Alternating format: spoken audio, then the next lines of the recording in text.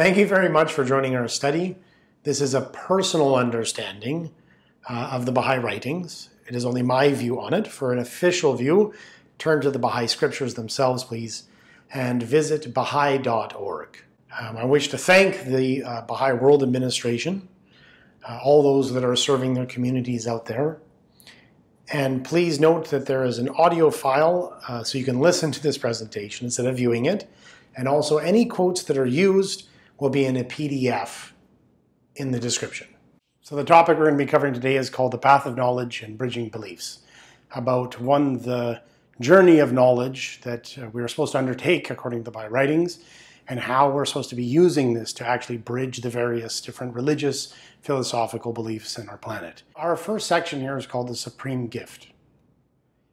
Uh, the first quote we have is from Abdu'l Baha, and it reads, all blessings are divine in origin, but none can be compared with his power of intellectual investigation and research, which is an eternal gift producing fruits of unending delight.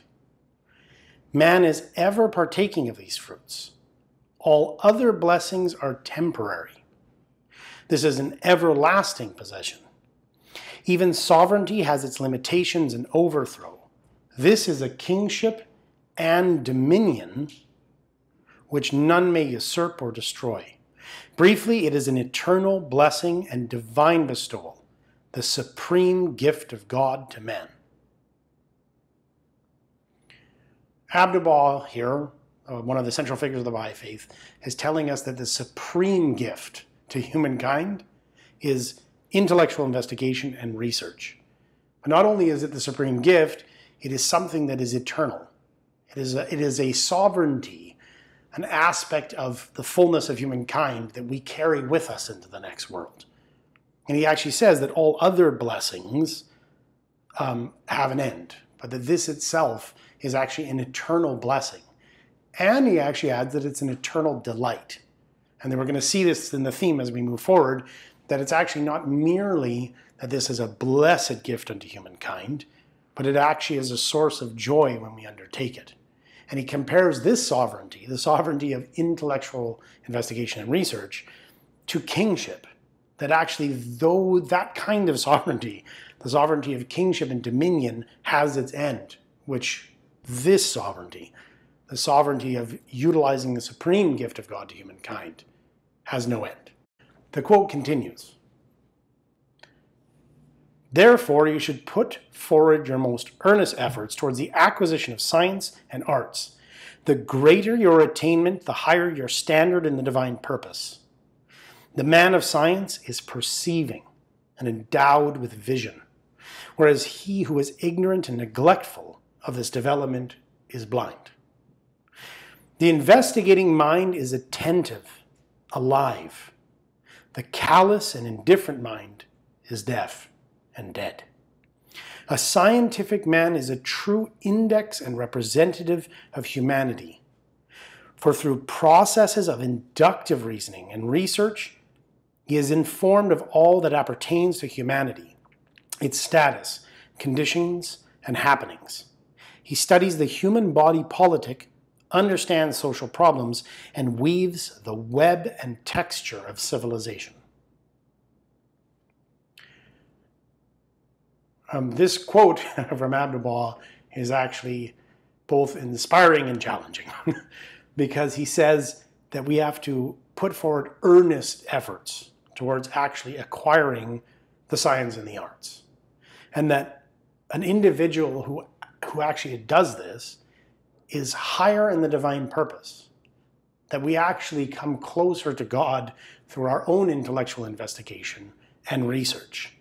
That the scientific man is the true index of humanity, meaning it is the actual true representation of what humankind should be. And this is one of the teachings of the Baha'i faith, of which there are endless quotes on this topic, um, that really just is quite shocking when you begin to think of it. Uh, not only of the, the, the station to which humankind is called, but also when you consider what a society would actually be like if they were to see intellectual investigation, the use of inductive reasoning, of research, and the studying of all of the world as actually sacred, as a process of drawing closer and closer to God Himself. And we'll see in, in future deepenings, uh, future studies like this, that actually even science itself is seen as a form of prayer, a form of worship of God, because we ourselves are fulfilling what He created us to be, to utilize this supreme gift of God. Uh, the quote uh, finishes In fact, science may be likened to a mirror wherein the infinite forms and images of existing things are revealed and reflected. It is the very foundation of all individual and national development. Without this basis of investigation, development is impossible. Therefore, seek with diligent endeavor the knowledge and attainment of all that lies within the power of this wonderful bestowal. Uh, in the end of this quote, Abdu'l Baha is saying that it is actually the foundation of all individual and national development. Oftentimes, the process of investigation and science and exploring reality uh, can, can sometimes be seen as something other people are supposed to do because that's good for the nation or that's good for the economy or that's good for humanity, but we ourselves have other things to do. Uh, what's so exquisite about uh, many of the talks on this and many of the quotes we can actually find is that it is actually related not just to the nation or the body politic, but to the individual. That this is actually a process of progress for a, person themselves. That they themselves have to engage within the, the study of the world around them as a means for them to progress as a human being. That is intrinsic to the duty of humankind and our human nature that this be carried out. Our next session is called the Path of Knowledge. Uh, the picture I've used is actually a very steep path because while this is a beautiful journey, it is at the same time often difficult to actually fulfill this in our lives. So we're going to look at some quotes here from the central figures of the Baha'i Faith. The first one is actually from Abdu'l Baha and it reads I most urgently request the friends of God to make every effort, as much as lieth within their competence, along these lines. The harder they strive to widen the scope of their knowledge, the better and more gratifying will be the result. Let the loved ones of God, whether young or old, whether male or female, each according to his capabilities, bestir themselves and spare no efforts to acquire the various current branches of knowledge, both spiritual and secular, and of the arts. So, this quote from Abdu'l Baha is telling us that we have to make every effort to expand the scope of our knowledge. And it's not only that it will be better for us, as we've seen before, and for the nation as a whole, but the more gratifying it will actually be. And that these sciences as should have been clear from the previous quotes, um, aren't merely religious sciences, the study of scripture or the study of morality and the development of a human being along a moral plane or within value, but actually of the actual physical sciences themselves. That this is something that is a duty, each according to their competence, right, to expand their knowledge of the world. Um, this next quote we'll find is actually from Baha'u'llah. Knowledge is as wings to a man's life and a ladder for his ascent. Its acquisition is incumbent upon everyone. The knowledges of such sciences, however, should be acquired as can profit the peoples of the earth, and not those which begin with words and end with words. Great indeed is the claim of scientists and craftsmen on the peoples of the world. In truth, knowledge is a veritable treasure for men and a source of glory, of bounty, of joy, of exaltation, of cheer and gladness unto him. Thus hath the tongue of grandeur spoken in this most great prison. Here, Baha'u'llah, the prophet founder of the Baha'i faith, tells us that knowledge itself is a ladder, a ladder of ascent towards God. That this is a fundamental aspect of human nature to use our understanding of the world to draw closer to divinity. And he tells us that great indeed is the claim of the scientists and craftsmen. That not only should we choose this as a, as a goal and as a purpose of our own existence, but when we see others in society striving to develop the arts and crafts and sciences, they should be applauded. And that not only, as well, once again, is this a story of glory and bounty to the individual, but it's actually a source of joy, uh, of cheer and exultation. And I think it's it's really true that when we when we explore the paths of knowledge and journey along that process, we really can find sweetness and delight in, uh, as Abdu'l Baha in another place says, the solving of difficult problems, the uncovering of the mysteries of reality, and the study of the body politic. This quote is from Abdu'l Baha. O ye young Baha'i children, ye seekers after true understanding and knowledge, a human being is distinguished from an animal in a number of ways. First of all, he is made in the image of God, in the likeness of the supernal light, even as the Torah saith, Let us make man in our own image, after our likeness. This divine image betokeneth all the qualities of perfection, whose lights, emanating from the Sun of Truth, illumine the realities of men. And among the greatest of these attributes of perfection and wisdom, sorry, of these attributes of perfection are wisdom and knowledge. He must therefore put forth a mighty effort, striving by night and day and resting not for a moment, to acquire an abundant share of all the sciences and arts. That the divine image which shineth out from the Sun of Truth may illumine the mirror of the hearts of men. It is the longing desire of Abdu'l Baha to see each one of you accounted as the foremost professor in the academies and in the school of inner significances, each one becoming a leader in wisdom.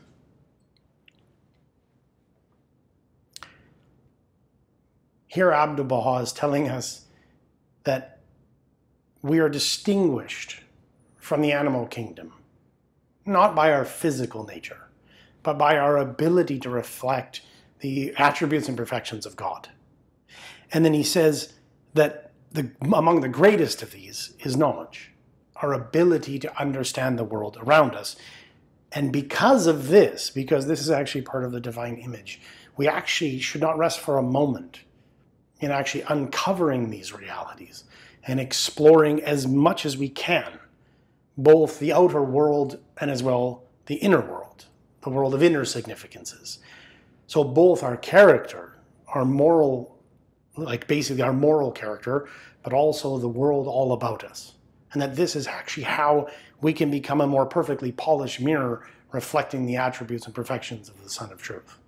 And this, once again, like to really consider what this actually means for society, what this means for a civilization that is to see science and exploration both of ourselves and the outer world, uh, not merely as something pragmatic, not merely as something that is useful, but actually that science and investigation is sacred, an actual sacred act, wherein we can actually become more whole as individuals and therefore as a society. The next quote again is from Abdu'l Baha um, during his talks in the early 20th century. God's greatest gift to man is that of intellect or understanding. The understanding is the power by which man acquires his knowledge of the several kingdoms of creation, of various stages of existence, as well as much of which is invisible. Possessing this gift, he is in himself the sum of earlier creations. He is able to get in touch with those kingdoms and by this gift, he can frequently, through his scientific knowledge, reach out with prophetic vision. Intellect is, in truth, the most precious gift bestowed upon man by the divine bounty. Man alone among created beings has this wonderful power. Here, Abdu'l Baha tells us again that what is the real, true distinguishing feature of humankind is our intellect or our understanding. And here he uses a word that is not just our, the most supreme gift, but is the most precious. That is something to be shielded and cared for, to be protected. And in that, we see that this is actually what enables us to unravel all the mysteries of creation. So, how precious a gift this actually is. And this is something that needs to be really understood, especially in the prevalent discourses of society, as we live in a world where the fruits of the intellect of an investigation are often under fire. That it is, it is absolutely necessary that humankind not study things, but actually recognize that it is within the very fundamental purpose of humankind to actually reach out with our heart, with our minds as well as our hearts, to actually begin to understand all of nature and to see intellectual investigation, research, the use of inductive reasoning, the sciences and the arts and the fruits that we create from them as a sacred, a fundamentally sacred aspect of the very, the very purpose of creation. It's important to point out how refreshing a principle this actually is. The Baha'i faith makes the exploration of the natural world a sacred act. And this is shockingly refreshing to see that within the holy scriptures of a world embracing religion, we find that the intellect itself, that the process of rational investigation and the production of the arts and the fruits of those investigations to actually be something not tolerated or looked at askance or, or questioned, but actually fully celebrated as a form of sacred worship and a fulfillment of what we are as human beings.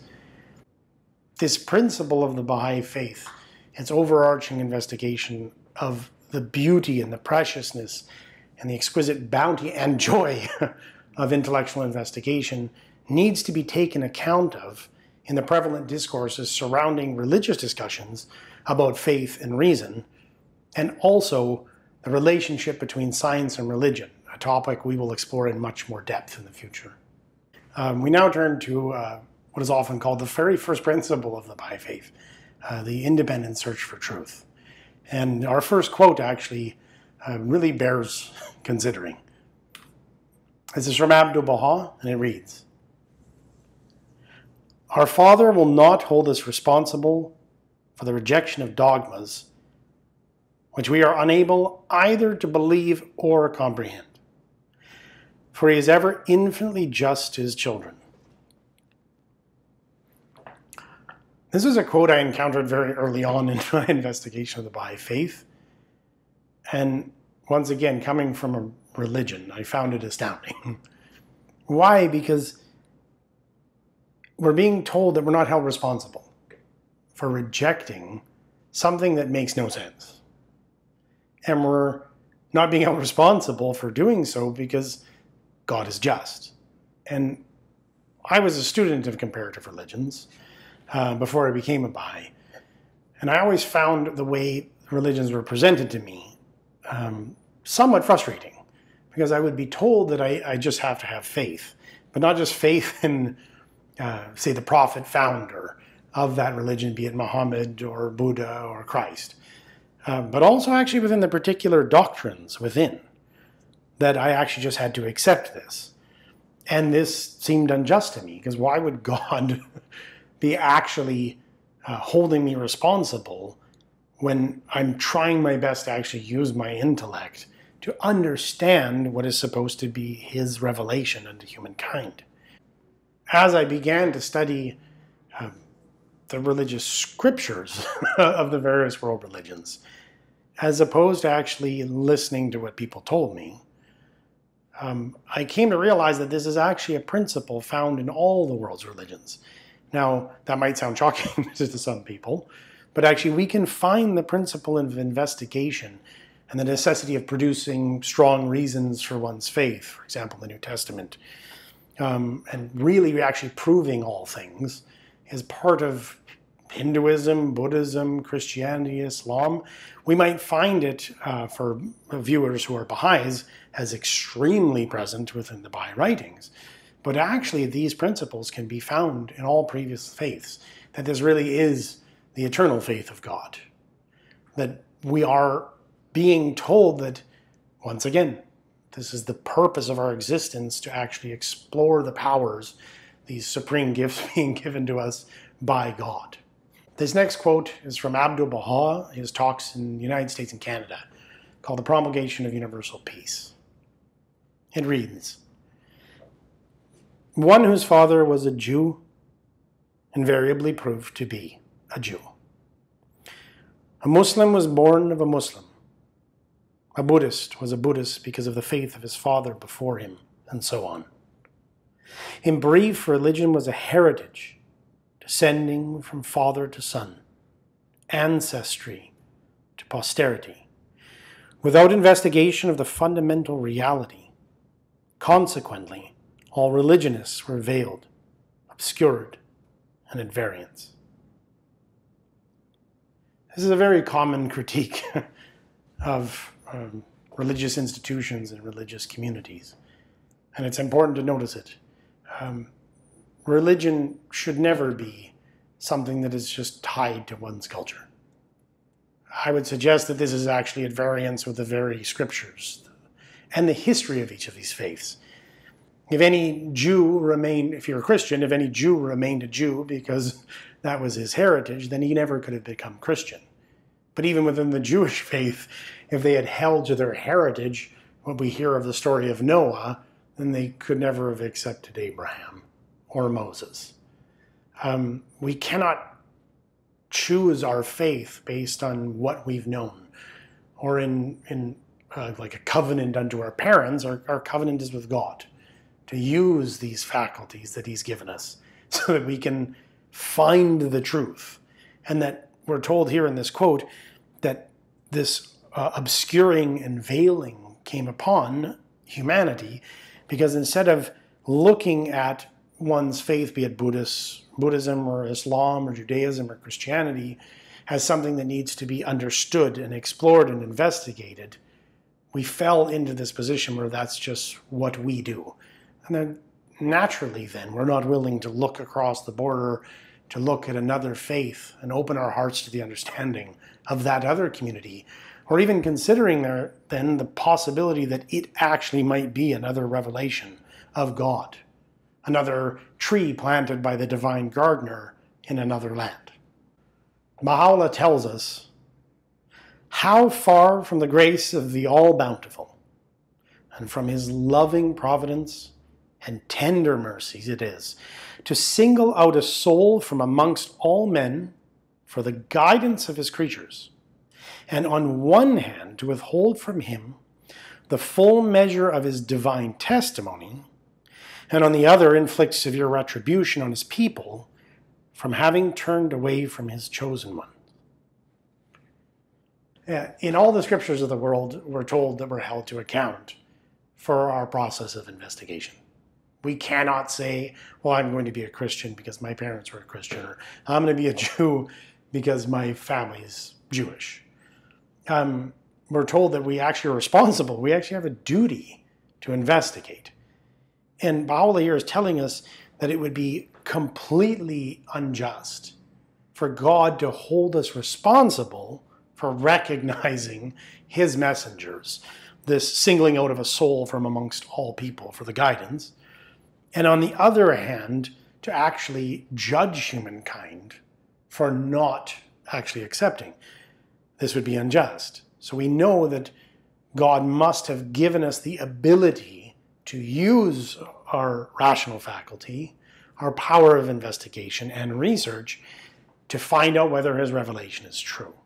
And this is a fundamental principle of the Baha'i faith, this independent search for truth. Baha'u'llah again says, He hath endowed every soul with the capacity to recognize the signs of God. How could he otherwise have fulfilled his testimony unto men? If ye be of them that ponder his cause in their hearts, he will never deal unjustly with anyone, neither will he task a soul beyond its power. He verily is the compassionate, the all merciful. Once again, it's not. Oh, we see here that every person has been given the ability. Everyone has the capacity to recognize the signs of God in his message. Or else, once again, this would be unjust. How could God give unto humankind the duty to recognize his message and at the same time not give him the capacity to recognize it within their lifetime? And this puts the onus again on our independent investigation, on our rational faculties, and for myself, on my ability to share in, in as pure a form as I can the actual revelation of God. My duty to do the best I can to use my rational faculty to help others see the pristine beauty and wonder within the revelation of God. This is from Abdu'l Baha. Man must cut himself free from all prejudice and from the result of his own imagination, so that he may be able to search for truth unhindered. Truth is one in all religions, and by means of it, the unity of the world can be realized. All the peoples have a fundamental belief in common. Being one, truth cannot be divided. And the differences that appear to exist among the nations only result from their attachment to prejudice. If only men would search out truth, they would find themselves united. There's a beautiful part of this quote from Abdu'l Baha because he actually says all peoples have a fundamental belief in common. Meaning, whether you're a Buddhist, a Hindu, a secularist, an atheist, we can all agree on this. There is a truth. And actually, it cannot be self contradictory so that we must use our rational faculty in order to investigate any claim put for us, put before us, to see whether it is true. Now, we see that truth cannot be divided, and at the same time, the Baha'i faith presents the unity of religion, a belief in the fundamental oneness of religion. And that might seem strange to some people and some viewers. But this is this is actually the question of the Baha'is. Will we put aside our prejudice? Will we put aside what we think we know and actually investigate to see if they are one? Or do we decide prior to investigation that this cannot be true? If five people meet together to seek for truth, they must begin by cutting themselves free from all their own special conditions and renouncing all preconceived ideas. In order to find truth, we must give up our prejudices, our own small, trivial notions. An open, receptive mind is essential. If our chalice is full of self, there is no room in it for the water of life. The fact that we imagine ourselves to be right and everybody else wrong is the greatest of all obstacles in the path towards unity. And unity is necessary if we would reach truth, for truth is one. Therefore, it is imperative that we should renounce our own particular prejudices and superstitions if we earnestly desire to seek the truth. Unless we make a distinction in our minds between dogma, superstition, and prejudice on the one hand, and truth on the other, we cannot succeed. When we are in earnest in our search for anything, we look for it everywhere. This principle we must carry out in our search for truth. There's no doubt that this principle is very difficult to implement. uh, it is an ideal that we have to, as individuals and as a society, strive to implement. Just because in the previous quote, in this quote as well, we see that uh, truth is one.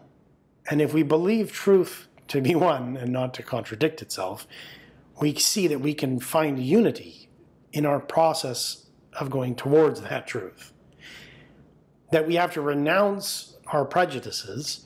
And in order to do this, we have to assume that it's actually possible that either we're wrong or we actually might have an aspect of that truth. at least assume the possibility of that so we can begin this investigation together. And given we live in a world just completely divided by ideology, that which truly divides humankind, whether it be political, religious, or philosophical, we actually have to come to a place where we can agree that truth is one and that we actually have to search it.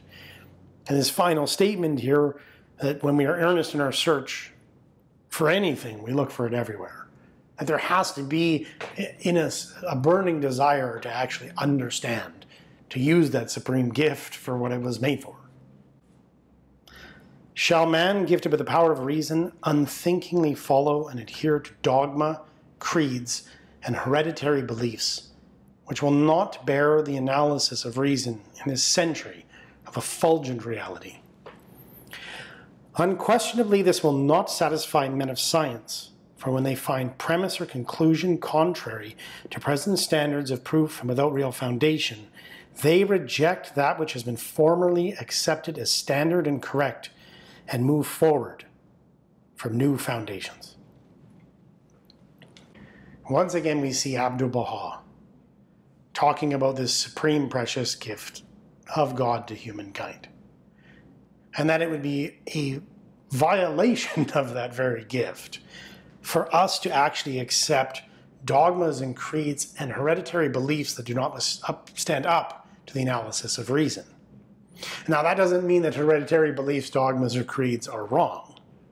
They may be so, but we actually have to investigate them and investigate them anew and see if they're founded and established within the original scripture of these faiths. And that if we find that they are not, we must reject them and accept new standards and new principles. And we see once again that, that in the Baha'i writings, we're told that this process of investigation, of rational inquiry, of the use of deductive and inductive reasonings is really part and parcel of what we are. We're not distinguished from other beings by our physicality. It's actually this capacity of us that distinguishes us from other kingdoms. So, in a sense, for us to actually put aside our rational faculty, for us to deny that we have this capacity, or to leave it idle and neglect it, would be almost as if to take a part of our body off, to cut off a limb of our very physical temple, even more so, because this is what makes us what we truly are. This I titled A Fragrant Sword Arguments in the Spark of Truth. The reason why is because in the Baha'i writings, we're supposed to be eloquent and loving and compassionate, and we should never mistreat anyone. It is unbecoming our very nature to treat each other um, inappropriately, to be rude and get angry. So, argument in this context doesn't mean an argument as the one full of anger, but rather argumentation, the producing of reasons and rationale, rational reasons for why we believe what we believe. Uh, this first quote, we'll see, is a very, uh, very cardinal quote from the Baha'i writings. The shining spark of truth cometh forth only after the clash of differing opinions. I absolutely love this quote because it's telling us that it is when two ideas or two worldviews, two perspectives or more clash into each other, that actually the truth sparks out from that. So rather than debate being something that is supposed to be seen as inappropriate or unbecoming us, it's actually vital.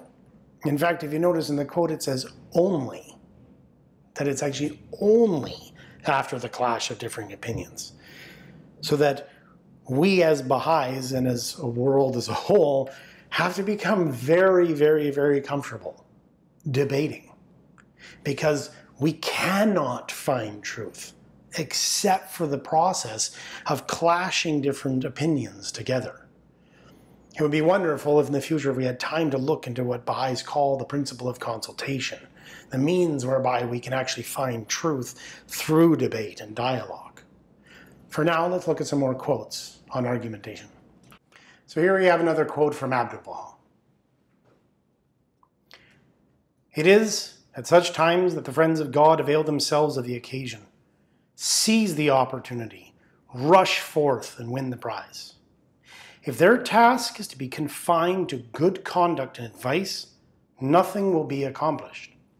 They must speak out, expound the proofs, set forth clear arguments, draw irrefutable conclusions, establishing the truth of the manifestation of the Sun of Reality. This is one of the clearest quotes I know of within the Baha'i writings regarding argumentation. And it's important to understand the difference between an argument and arguing. it might be better called to debate or put forth arguments and fighting. Um, in our culture, we generally, when we hear the word argument, we usually think of people being angry or upset using raised voices. This is not actually what argumentation or an argument means. It means putting forth the reasons for what you believe. And we have to actually separate these to understand what the Baha'i writings are actually talking about. We can actually be putting forward proofs and arguments for something either in a contentious way, creating conflict and dissension among people, or we can do that very same thing in a harmonious, loving, and compassionate way. It's as if we really have to be even if we've started out peaceful in our discussion, that we're actually really watching our own emotions, our own feelings, lest conflict, dissension, or prejudice arise. And it is our duty to actually be able to produce, to expound the proof, set forth clear arguments. Because as this quote says, if we confine our task to advice and good conduct, sorry, good conduct, it says nothing will be accomplished it necessitates this clashing of different opinions so that the spark of truth can come forward. So, in a sense, we actually have to become very comfortable with people disagreeing with each other so that we can find the truth and to understand clearly why it is what we believe so that we can share those with others. And the thing is, we have to come into this process without a belief that we know everything and the other one does not. As we've seen before, that our chalice is not full of self, that we are not allowing our attachments or, our love of one view or our prejudice or hatred of another view or individual or people to actually turn us away from that truth. It is a very challenging objective, but it's a goal that is ultimately worthwhile. So this next quote is from Shoghi Effendi, uh, whose title is The Guardian of the Faith, um, one of the central interpretive figures of the Baha'i Faith. And he says, Without the assistance of God as given through the message of Baha'u'llah, peace can never be safely and adequately established. To disregard the Baha'i solution for world peace is to build on foundations of sand. To accept and apply it is to make peace not a mere dream, or an ideal, but a living reality. This is the point which the Guardian wishes you to develop, to emphasize again and again, and to support by convincing arguments. This is a very challenging quote uh, by the Guardian because he's stating very clearly what the Baha'i Faith is proclaiming to the world that without the message of Baha'u'llah, we cannot come together as a people. That it is through the instrument of Baha'u'llah's teachings and his administrative order that we can bring the human family together. Yet, this as well makes this not a dream or some vision, but an actual reality. We have to accept it and apply it. But in order to do this, we have to emphasize this again and again and support it by convincing arguments. Again, that it is not merely to give our counsel, to give our advice, that this is what we should do, but to give reasons, reasoned arguments as to why it is that to disregard the Baha'i solution for world peace is to build on foundations of sand. We actually have to be able to show why that is. And all the Baha'i writings bring this home to, to the Baha'i community. And once again, to distinguish between arguing and fighting. So this next quote is from the Gleanings of the Writings of Baha'u'llah. Warn, O Salman, the beloved of the one true God, not to view with too critical an eye the sayings and writings of men. Let them rather approach such sayings and writings in a spirit of open mindedness and loving sympathy. He then continues It is incumbent upon all men, each according to his ability, to refute the arguments of those who have attacked the faith of God. He that wisheth to promote the cause, it continues, of the one true God, let him promote it through his pen and tongue, rather than have recourse to sword or violence. If any man were to arise to defend in his writings the cause of God against its assailants, such a man, however inconsiderable his share, shall be so honored in the world to come that the concourse on high would envy his glory. So when we're approaching the writings of individuals, we're to do it in a spirit of open mindedness. At the same time, it is incumbent, meaning it is a duty of all individuals to refute the attacks. We often think that, or I often hear in discussion, that those who actually produce misrepresentations of the Baha'i faith, just to leave them alone. And yet Baha'u'llah here is telling us, as was Shoghi Effendi, as was Abdu'l Baha, that we actually have to give an answer back to them. And that it is not just that we should do so, each according to his capacity, as it says, but that someone who were to arise with their tongue and their pen and defend the cause of God against misrepresentations um, of the Baha'i faith, that the actual concourse on high, the angelic hosts, would envy his glory.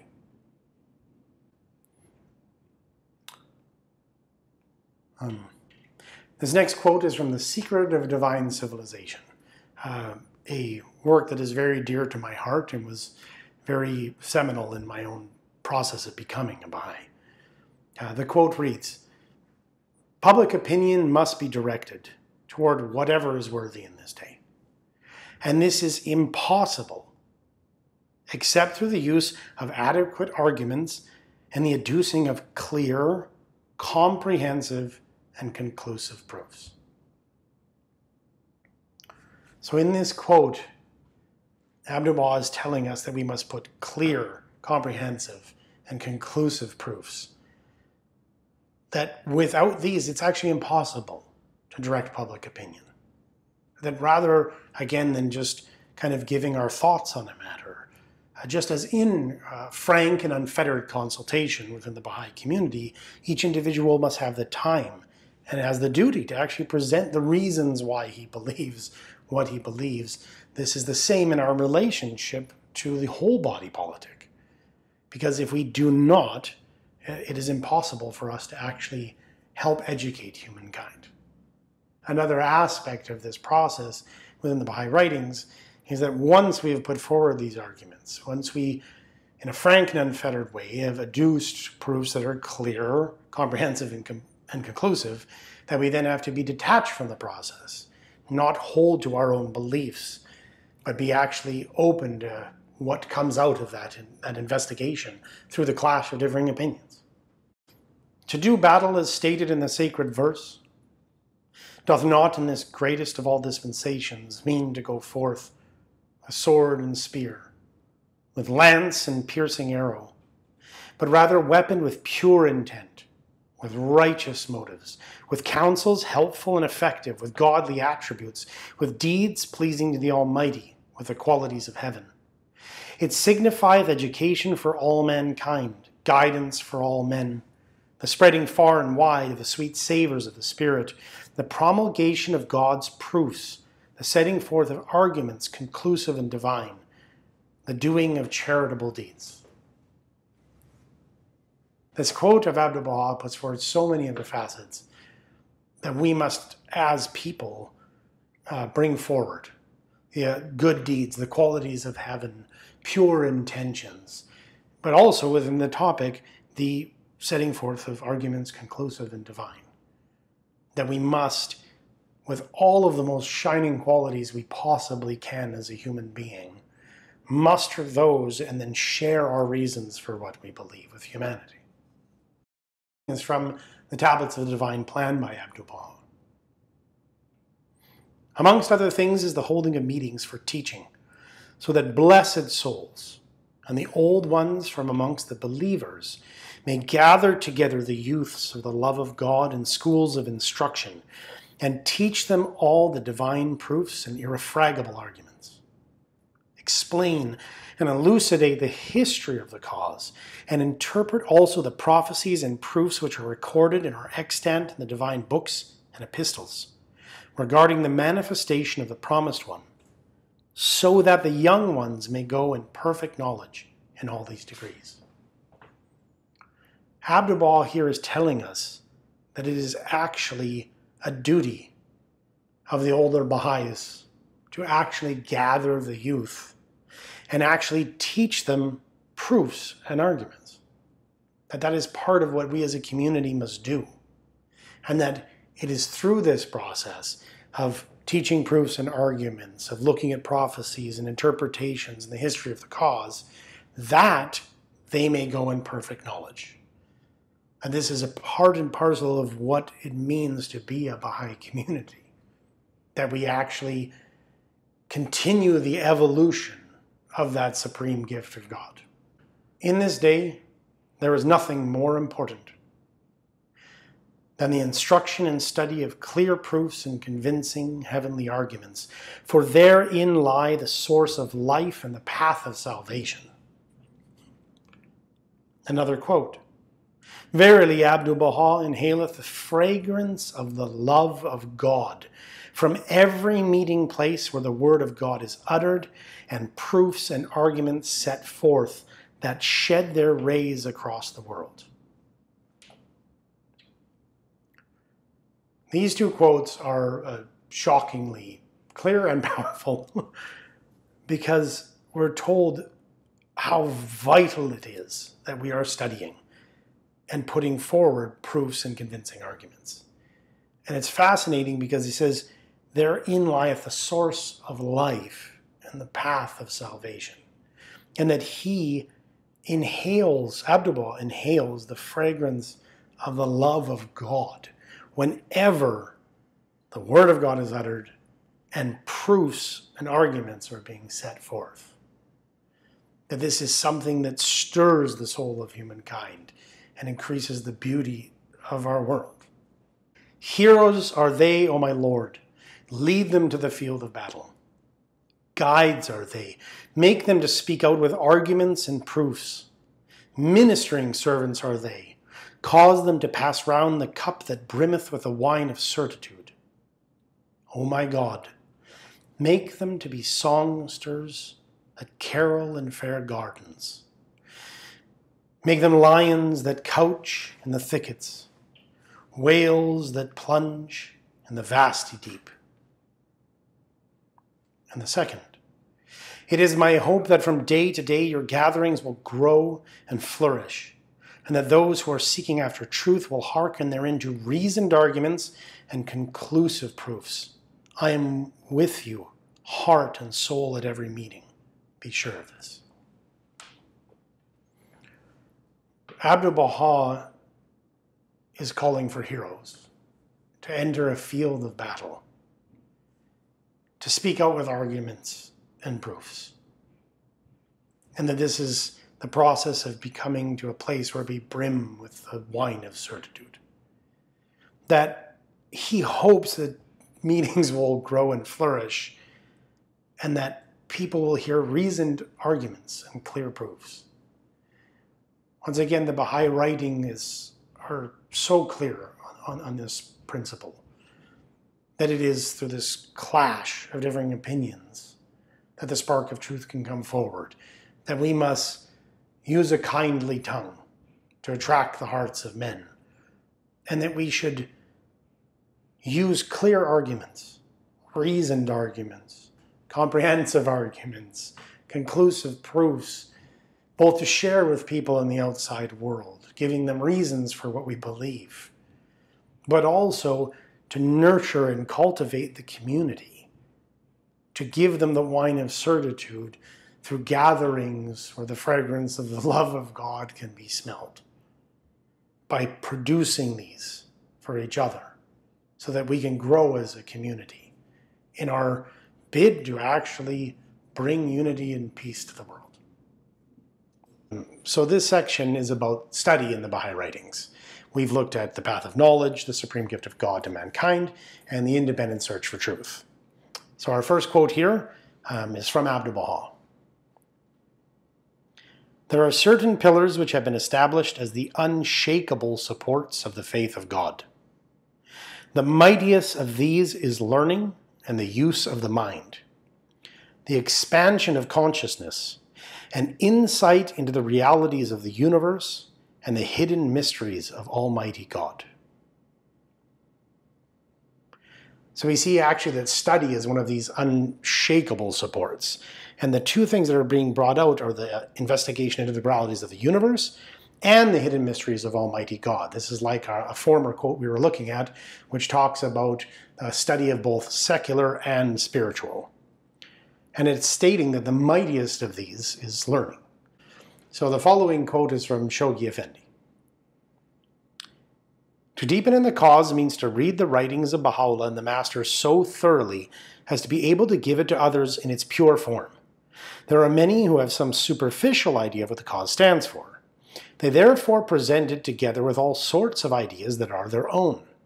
As the cause is still in its early days, we must be most careful, lest we fall under this error and injure the movement we so much adore. There is no limit to the study of the cause. The more we read the writings, the more truths we can find in them. The more we will see that our previous notions were erroneous. This quote is so important we're told actually in another place by Abdu'l-Baha that we should be striving uh, to give the teachings of Baha'u'llah, the Bab, uh, as in as purest form as we can. This is why we're supposed to memorize scripture.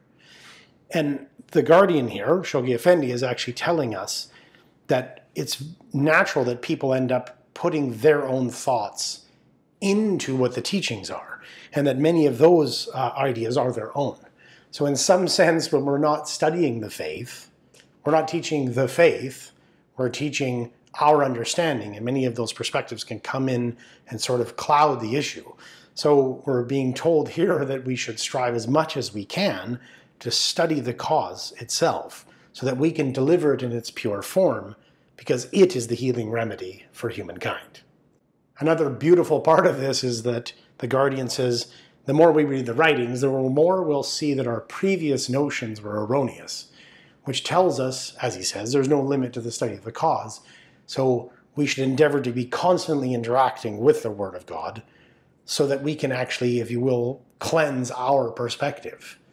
And that, therefore, if the Word of God is meant for humankind, it is their purest message which best resonates with humankind. This idea is very difficult to implement is one thing we can say, because the Baha'i writings are so vast, for one, uh, especially when we include all the central figures.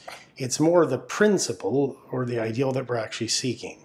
We're trying to do our best to actually ensure that, that we're constantly interacting with, with uh, the writings of the faith so that this erroneous aspect of our own perspective is constantly being filtered out and our understanding of actually of Baha'u'llah's revelation itself is being nurtured and grown and developed.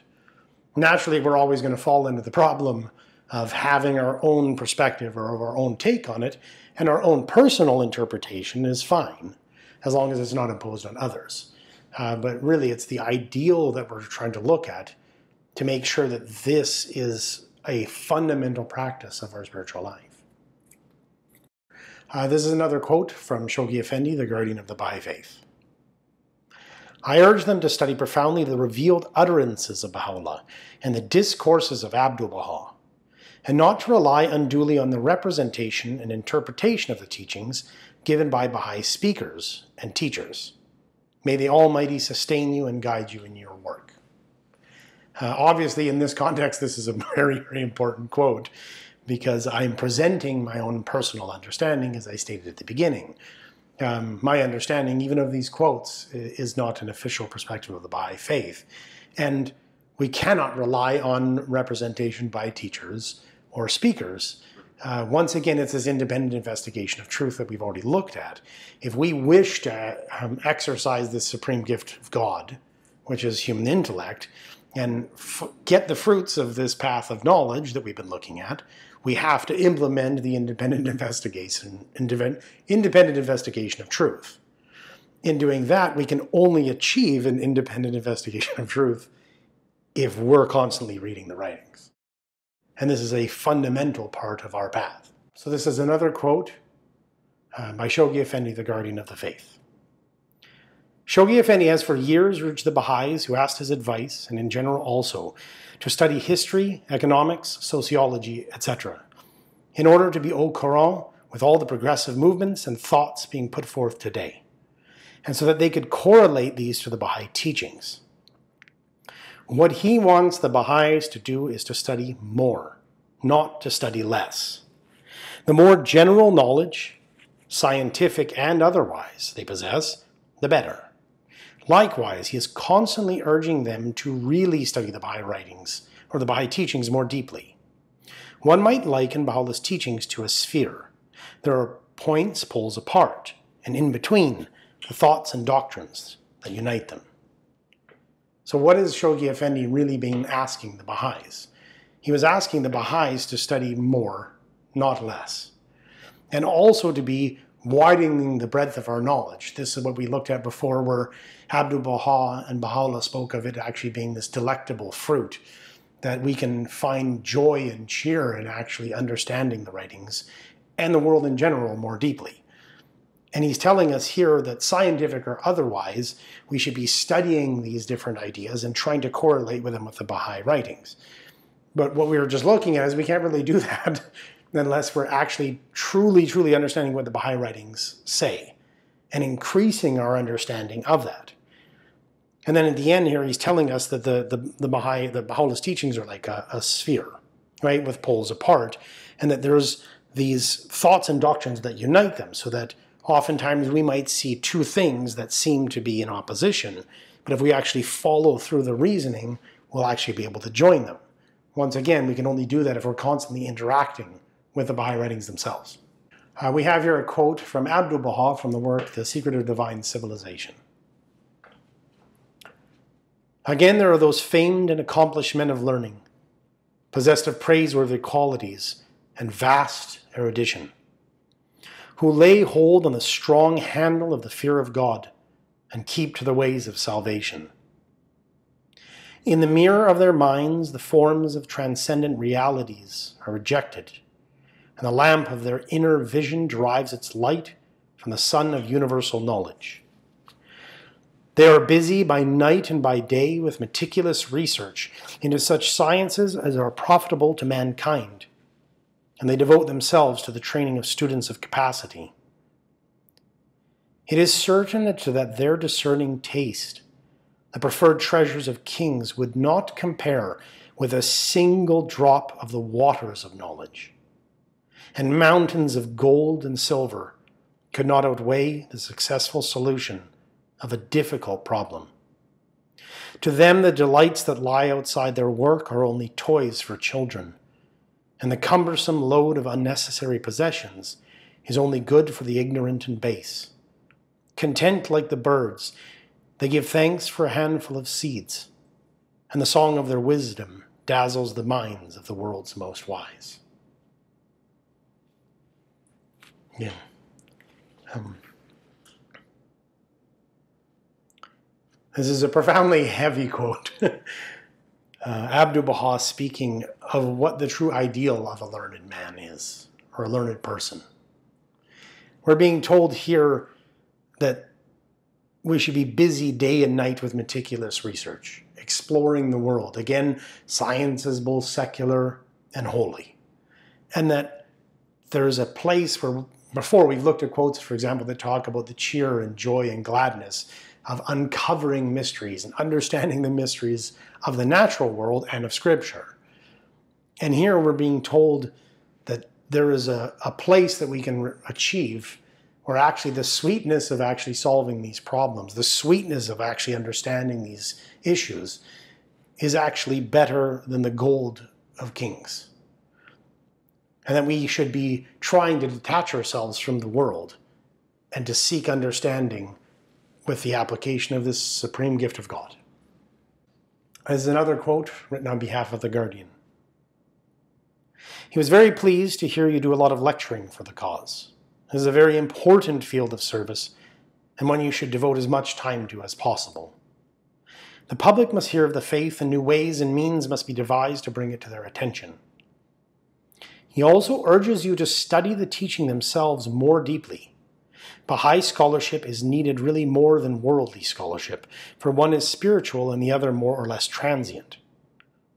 There is a real lack in the cause of people who know the teachings thoroughly, especially their deeper truths, and who can consequently teach the souls properly and lay a permanent foundation, one that tests and trials will not shake down.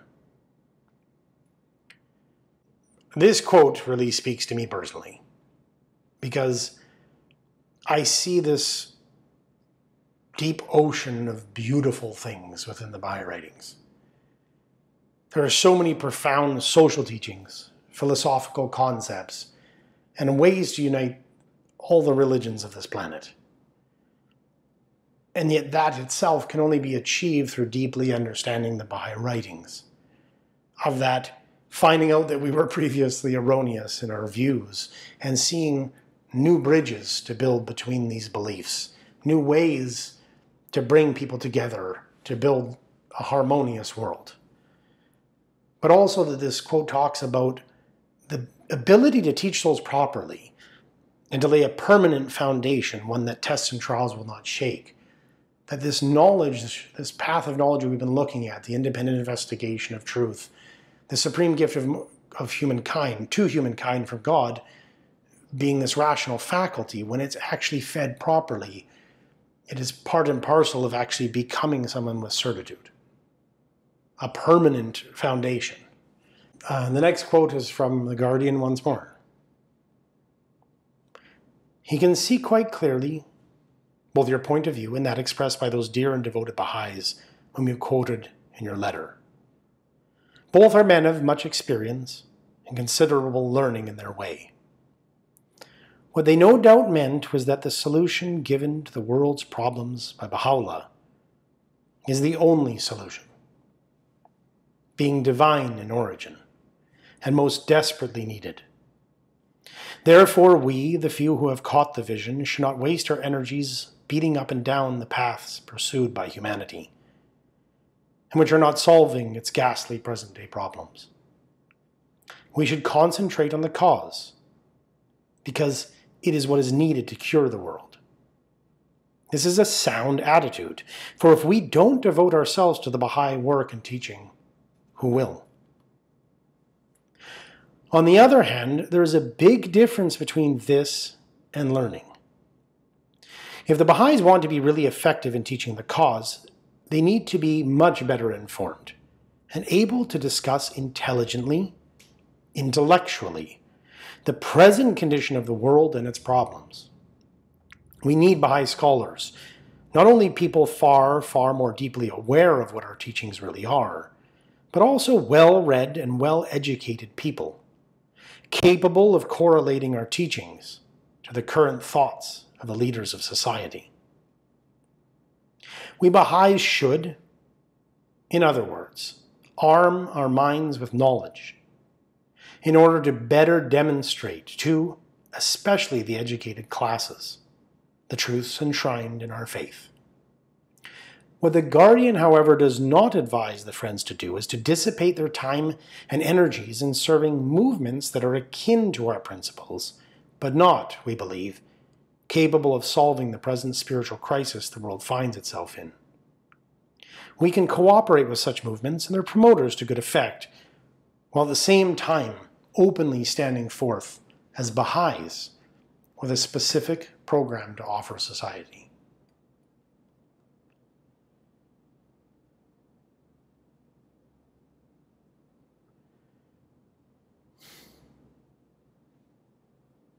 It's very heavy. What do I understand to be the essence of this quote? That the Baha'i writings the writings of Baha'u'llah, the Bab, of Abdul Baha and Shoghi Effendi, and the guidance of the Universal House of Justice is the supreme elected body of the Baha'i faith. Present to us a blueprint for the healing of the world. And that while we might be pulled to and fro to serve many other causes that might be akin to the goals of the Baha'i faith, that really, if we ourselves do not rise, study this faith, correlate it with the thoughts and questions, even objections of people, as we've looked at, who else is going to do this? And if it is actually the solution to the ghastly problems that humanity is facing, it is of urgent need that we just get down to it and actually study. So we hear again from The Guardian. The cause needs more Baha'i scholars, people who are not only devoted to it and believe in it, and are anxious to tell others about it, but also who have a deep grasp of the teachings and their significance and who can correlate its beliefs with the current thoughts and problems of the peoples of the world. The cause has the remedy for all the world's ills. The reason why more people don't accept it is because the Baha'is are not always capable of presenting it to them in a way that meets the immediate needs of their minds. Young Baha'is like yourself must prepare themselves to really bring the message to their generation who need it so desperately and who can understand the language it speaks so well. He would advise you, among other books, to study the talks of Abdu'l Baha, as his method of approaching the mind of the public cannot be surpassed. He also advises you to develop yourself as a public speaker, you will be increasingly able to teach the cause. We're told here, in addition to that we need to study more deeply the cause, that we have to learn to be able to speak to people and address the immediate needs of their minds. Oftentimes, we can get into a place where we're so excited about one facet of the Baha'i faith its social teachings, its philosophy, its theology, its relationship to different religions that instead of actually teaching to the person that we're talking to, to address the questions they have, and to speak in a language that they can understand and feel familiar with, we actually just share our own thoughts we have to learn to be able to truly relate them to the person that's standing in front of us. And once again, the more we actually study the teachings, the more facets of the faith we actually begin to see, and then be able to bring to that person the facet of Baha'u'llah's revelation that best speaks to them. So this quote is from Shoghi Effendi, The Guardian. In their efforts to achieve this purpose, they must study for themselves, conscientiously and painstakingly, the literature of their faith delve into its teachings, assimilate its laws and principles, ponder its admonitions, tenets, and purposes. Commit to memory certain of its exhortations and prayers, master the essentials of its administration, and keep abreast of its current affairs and latest developments. They must strive to obtain from sources that are authoritative and unbiased a sound knowledge of the history and tenets of Islam, the source and background of their faith, and approach reverently and with a mind purged from preconceived ideas the study of the Quran. He then says, I strongly urge you to devote, while you are pursuing your studies, as much time as you possibly can to a thorough study of the history and teachings of our beloved cause. This is the prerequisite of a future successful career of service to the Baha'i faith, in which I hope and pray you will distinguish yourself in the days to come. So, again, we're seeing that we should be devoting as much time as we can to the study of the faith. Now, of course, everybody has the challenges of service, family, work, and we're being summoned to actually study the writings so that we can, once again, remove much of what is our own perspective to truly understand what the faith is teaching, and then to share that with people, to be able to correlate it to the problems and questions of humanity and to the individual in front of us. The Guardian also says another essential thing is that those who do embrace the faith should be constantly urged to study the literature of the cause. It is not sufficient that our numbers should increase. We want people whose faith stands on a rock and no trial can move. We want people who in turn arise and carry the message to other people and guide other souls. The following quote is from the Universal House of Justice. The objection most commonly raised against the foregoing conception of religion is the assertion that the differences among the revealed faiths are so fundamental that to present them as stages or aspects of one unified system of truth does violence to the facts. Given the confusion surrounding the nature of religion, the reaction is understandable. Chiefly, however, such an objection offers Baha'is an invitation to set the principles reviewed here more explicitly in the evolutionary context provided in Baha'u'llah's writings. So in this document, the Universal House of Justice is talking about the fundamental concept of the Baha'i faith of progressive revelation and how many of these different faiths uh, in the Baha'i view come from actually one source. They're all of God. And it's saying here that the most common objection that Baha'is can encounter is that the differences between the different world religions are just so fundamental that uh, saying that there are aspects of one unified system or different expressions of the same divine underlying reality uh, appears to do violence to the facts. Um, I love this quote because on the one hand it says this, um, this reaction is understandable. So uh, we shouldn't be shocked that this would be the prevailing view.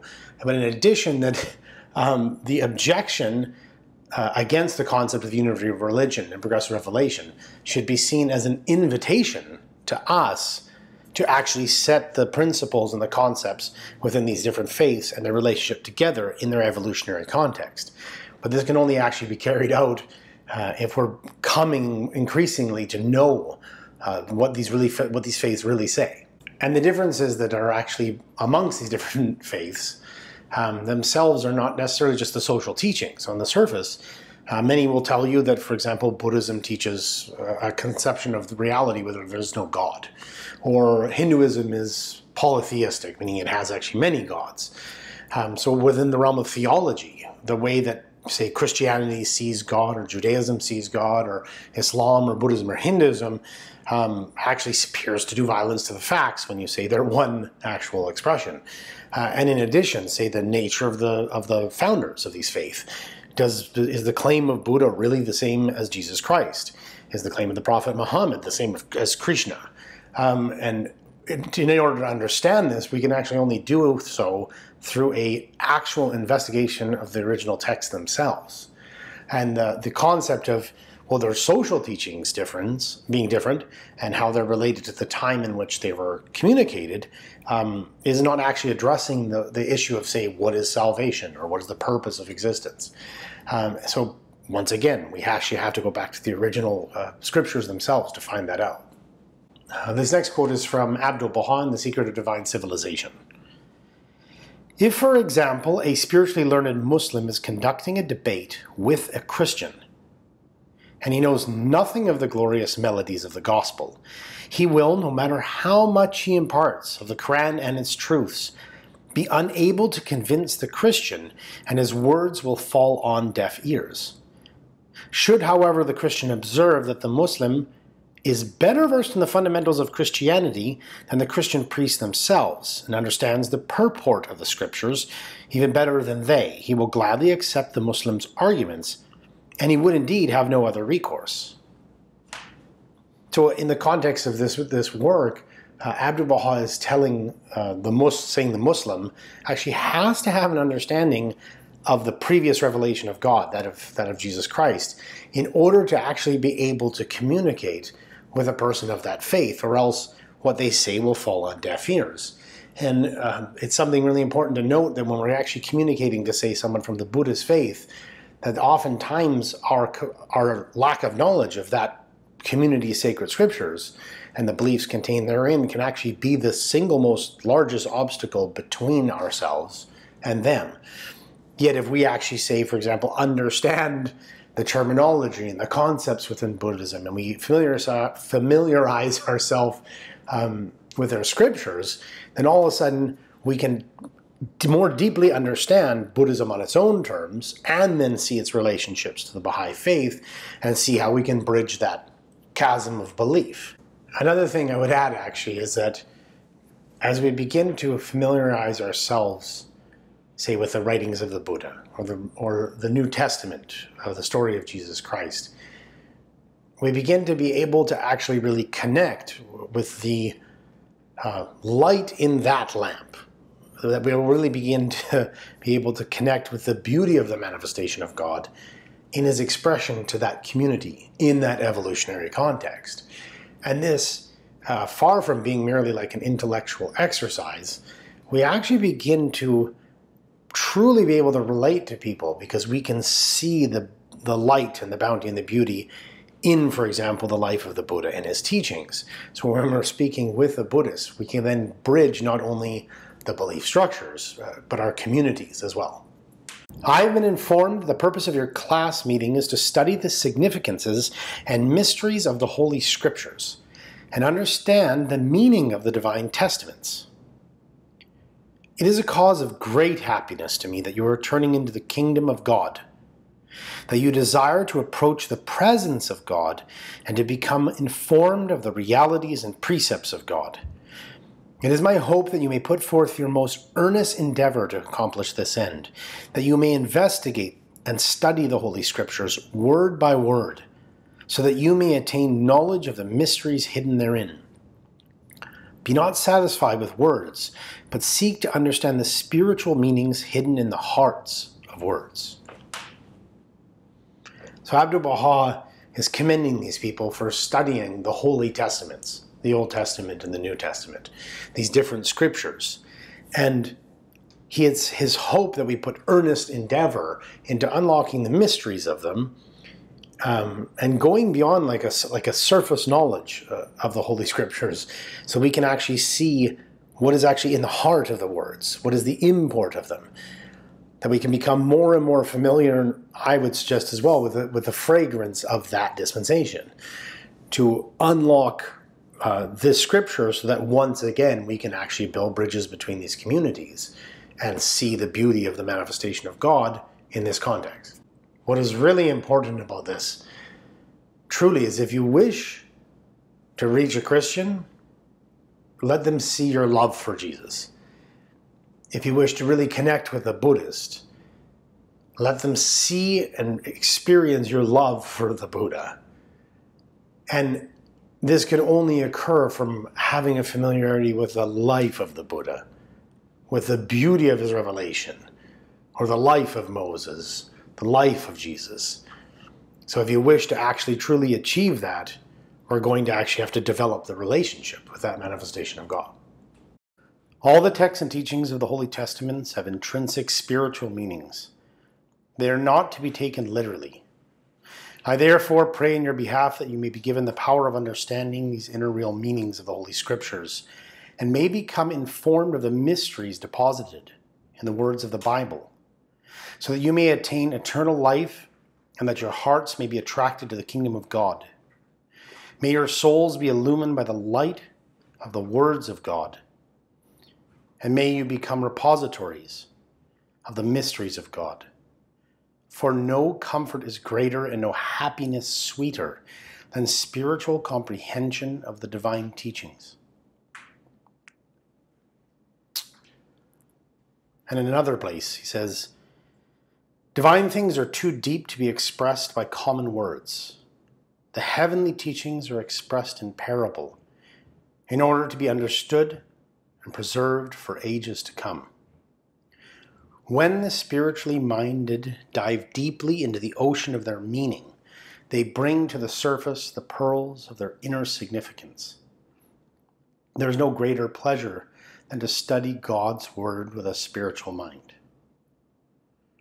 Yeah. I love these two quotes. um, primarily because of what it's saying about the process of studying the Word of God that there is no comfort greater, no happiness sweeter uh, than spiritual comprehension of the divine teachings. And at the same time, in the context of studying the holy texts, we have here Abdu'l Baha asking us to unravel the inner meanings of the Holy Scriptures. And he mentions the Bible as an example here. And that uh, behind the, if you will, the surface of the words, there are any inner meanings and spiritual significances that are hidden behind. And it's the process of actually unlocking these inner significances and spiritual meanings that we're able to actually taste the sweetness of this. That at times we can in, in interact with scriptures, especially if we're not familiar with them at first.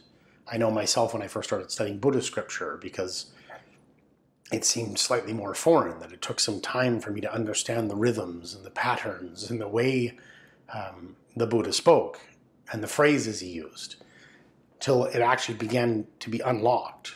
It's almost, I, I think of it almost as like when you're learning to play like a musical instrument.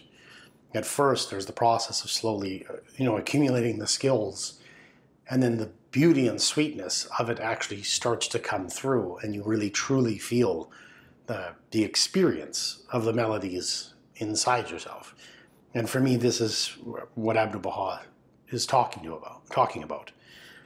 And what we ourselves, it's not that for example, it's the duty of Christians to unlock the inner mysteries of the Bible, but it is our duty to do so with the Quran and the holy scriptures of these different world religions.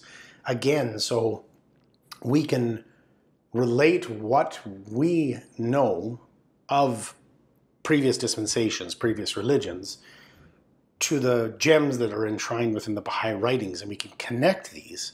And by doing this again, as it was talking about a spiritually learned Muslim, we know the melodies, say, of the gospel, or we know the melodies of the Bhagavad Gita, or we know the melodies of the Quran, and then we can actually become in concert with a believer of another dispensation of God's love to humankind.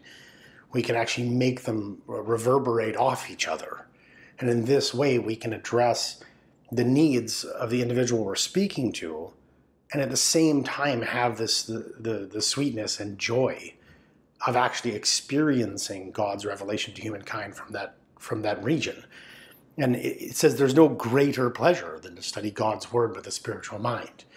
Not when we're actually looking at it in the sense of just trying to collect data, but when we're, when we're truly taking the, these previous holy books and actually trying to soak in the aroma and the fragrance of those revelations we actually gain the joy of this, and at the same time, we're able to reach out and connect the Baha'i teachings uh, with these previous dispensations.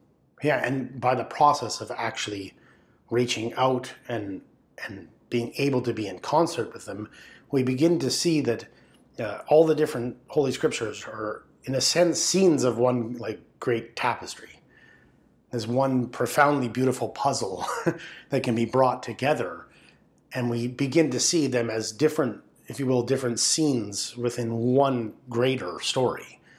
Um, and then we can relate that greater story to the people we're talking to, so that instead of actually people seeing their beloved manifestation, their beloved prophet, as being uh, reduced in importance, rather they see that the fragrances of his love, say the love of Christ and the spirit of Christ has actually been expressed elsewhere it's not a diminution diminution of, of that messenger, but rather it's actually an, an expansion of his influence. This is from One Common Faith, which is a, a work commissioned by the World Baha'i World Center, the Universal of Justice. It says, The scriptures have not changed. The moral principles they contain have lost none of their validity.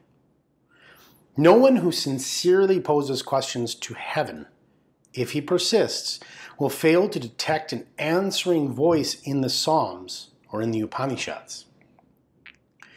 Anyone with some intimation of the reality that transcends this material one will be touched to the heart by the words in which Jesus or Buddha speaks so intimately of it. I love this quote when I first encountered it because of the different uh, conjoining of different dispensations that were actually brought together in this one quote. One, it's stating that the the moral principles uh, themselves, enshrined within actually these, these, these revelations, have not changed. And, and in addition, uh, no one who sincerely poses questions to heaven can fail to hear an answer. And then what is mentioned is the Upanishads and the Psalms. The Upanishads being um, a, a, central text in, in Hinduism, uh, an exquisite, beloved work, actually. And at the same time, it then mentions Jesus and Buddha. In this one quote, it's so beautiful because it's mentioning the Psalms, Judaism, uh, Upanishads, a central text of Hinduism, Jesus, the New Testament, and the Buddha. And it's telling uh, the Baha'is themselves that actually they can hear the voice of the divine actually pouring forth uh, from these previous dispensations. And it, it gives an invitation to actually explore them. Just as Abdul Baha just said that we should be unlocking the mysteries within the Bible, there are delectable fruits and, and, exquisite concepts enshrined within these works. And it is again our job to see that greater uh, that greater tapestry. Uh, this is actually from Shoghi Effendi, The Guardian. Uh, the Guardian would certainly advise and even urge the friends to make a thorough study of the Quran, as the knowledge of this sacred scripture is absolutely indispensable for every believer who wishes to adequately understand and intelligently read the writings of Baha'u'llah. It's a very powerful quote um, because I think that in our hearts, uh, every one of us wishes to adequately understand and intelligently read uh, the writings of Baha'u'llah. And we're told here that it's actually in, indispensable not just indispensable, but absolutely indispensable. That in order for us to really understand what is happening in the revelation of Baha'u'llah, we actually must make a, a thorough study of the Quran itself. Uh, personally, I would actually extend this. My own studies of, of Buddhist scripture and Hindu scripture has enabled me to be able to see things in the in the Baha'i writings, the writings of the Bab and Baha'u'llah and Abdul Baha, that I don't believe I ever would have seen if it hadn't been for having been schooled uh, within the Buddhist scriptures. I see facets that suddenly that a Buddhist would actually just find breathtaking and a way again to have a bridge between these faiths. That it's actually by the process of studying the Upanishads or by the process of studying the Psalms, they actually give us a greater context.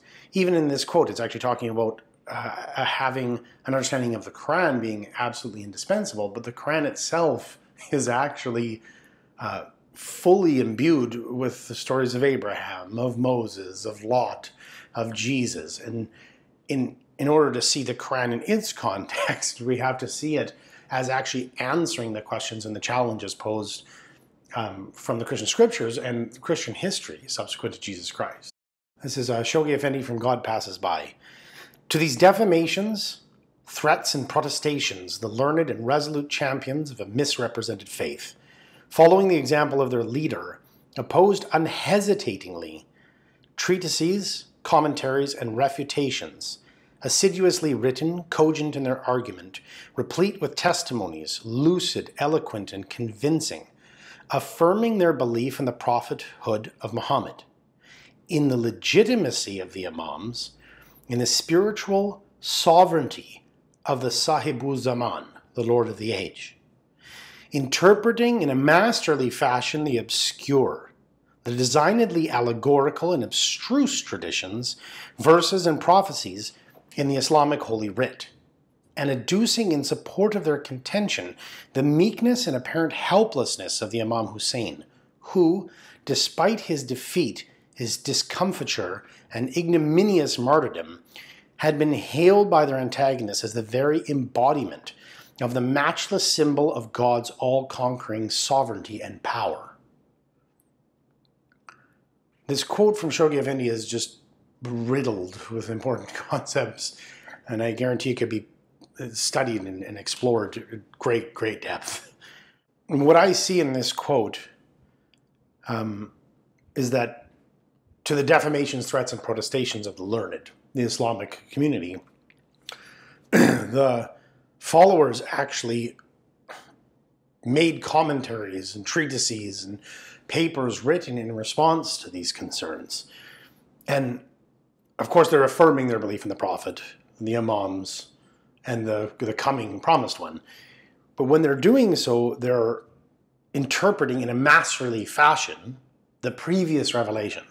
They're actually interpreting the allegorical and abstruse traditions, verses, and prophecies of the Islamic Holy Writ. So they're actually communicating what the Bab has come for, what Baha'u'llah had come for, through the Quran to, to the Islamic community. And they actually then use, in this context, the, the, the sovereignty, in order to explain the sovereignty of the Bab, in spite of him being executed. They use the story and the principle of the Imam Hussein to communicate how the Bab actually could have this sovereignty and this dominion in spite of his of his execution by showing that this is exactly what the Islamic community sees within the martyrdom of the Imam Hussein. This, this entire quote, uh, in my understanding, is actually trying to communicate how the, the, the Babis and the Baha'is were actually utilizing the previous dispensation and their understanding and study of it to actually communicate to uh, the Islamic community what they may not have been able to hear. And this is, again, only possible by studying the Islamic Holy Writ, or, for example, studying the Hindu Holy Writ, or the Buddhist Holy Writ, or the Christian Holy Writ. So this, this idea of actually studying the text itself, uh, this is only a, a, small, small selection of actually writings of the Baha'i faith uh, regarding the duty of study and also regarding the exquisite beauty and, and sacredness of these previous dispensations and their scriptures. This is uh, written on behalf of Shoghi Effendi. First is the importance of the study of Islam, which subject is still new to the majority of the believers, but whose importance for a proper and sound understanding of the cause is absolutely indispensable.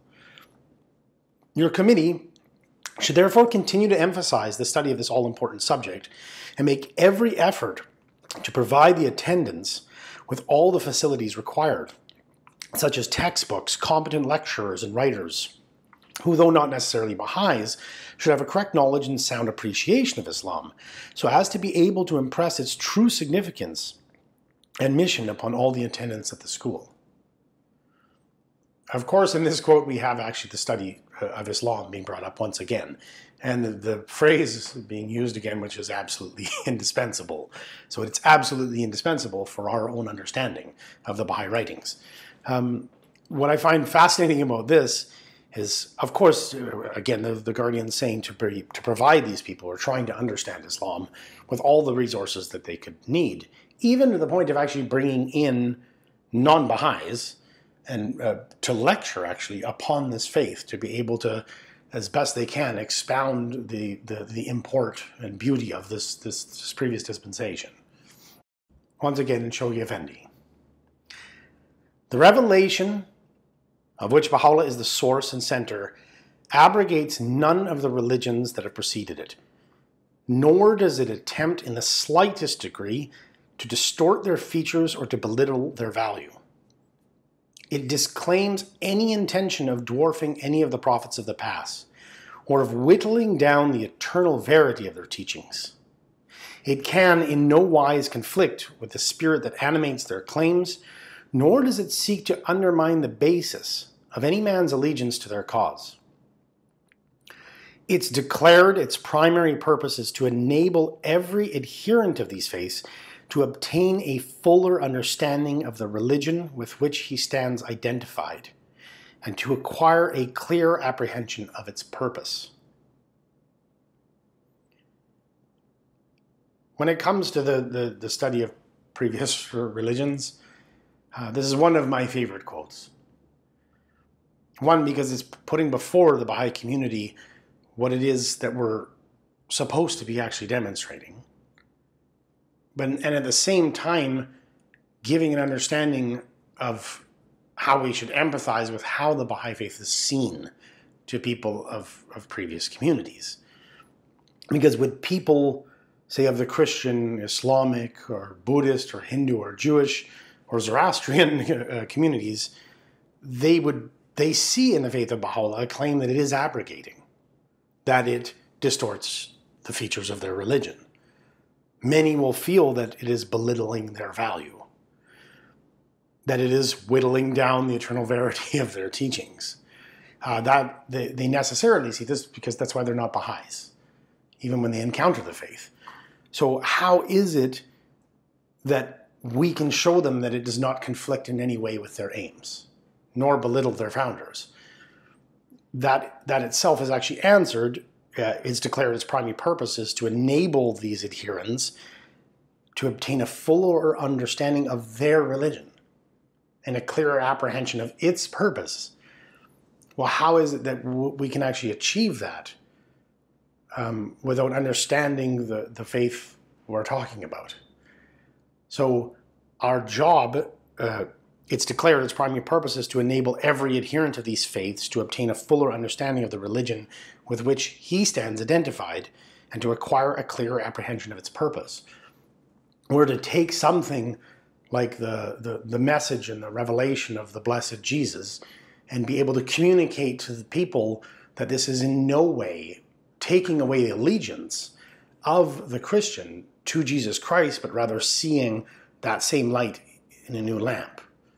Uh, this, is, this is very, we see this actually within the New Testament, because when Jesus Christ was coming and preaching uh, with, uh, within Israel Palestine, he was preaching and people would come up and ask questions. And then many of the Jewish doctors and Jewish leaders were against Christ. At one point, um, the Jewish divines uh, are asking some questions about Jesus, and his followers say, uh, was actually a man he healed, says, Well, so do you wish to be his disciple too? And they get upset. they respond, Well, no, we are the disciples of Moses. And this event uh, shows exactly, in essence, what often the concern, say, of a Muslim is, or of a Buddhist is, or a Hindu, or a Christian. It's, it's a perspective that they would be betraying a love. They would be, they would be violating a covenant between themselves and their beloved. And we have to understand this. And it's through actually understanding the Quran, uh, through understanding these faiths, and being able to communicate to these faiths in their own language, through their own scripture. The profundity and beauty uh, of actually the Baha'i faith but also the a deeper profundity and a deeper beauty of the faith which, which, with which they stand identified. And how could we possibly do this if we didn't know it? Even the language I'm using can obscure uh, what the Baha'i faith actually really says about these divine dispensations of God's will unto humankind. Uh, when I use the terms previous religion or previous dispensation, that's only to mean historically like the repeated rising of the sun. Uh, because for me, when I'm actually looking at the scriptures of Buddhism, of, of Christianity, of Islam, of Judaism, I'm not looking at someone else's scripture. We're told that they're the Word of God. We're, we're told to study them. And to me, um, they are merely really expressions of the same divine plan. We're told that this is the changeless face of God, eternal in the past and eternal in the future. And I know for me, I've often thought of it as if, you know, someone came up to me and actually had like a, a, a series of letters. And then I find out that these letters were actually from the father I never knew. And there were, say, eight of them. and if he were to lay them down, would I only pick up the last letter that was written and then read it to see what my parent had actually said to me and the counsel he had given and his expression of love to me. No, I would pour through all of them. I would open each one and I would go over every single line and try to understand the, the development and expression of the mind of my mother or father and how they had attempted to communicate to me. And in some sense, I, I wouldn't be able to fully understand the last letter if I hadn't understood the first and the process in between them. So, in my own life and in my own study of the Baha'i faith, when I say I study the Baha'i faith, I, I, I study the writings of the Buddha, or read the Upanishads, or read the Bhagavad Gita or the New Testament, because that that is the Baha'i faith. that is what it is to me.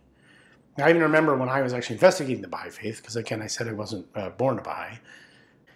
I asked uh, one of my Baha'i teachers, uh, like, what is the scripture of the Baha'i faith? You know, I'm, I'm wondering, like, what's your Quran? What's your Bible? Um, and he walked out of the room.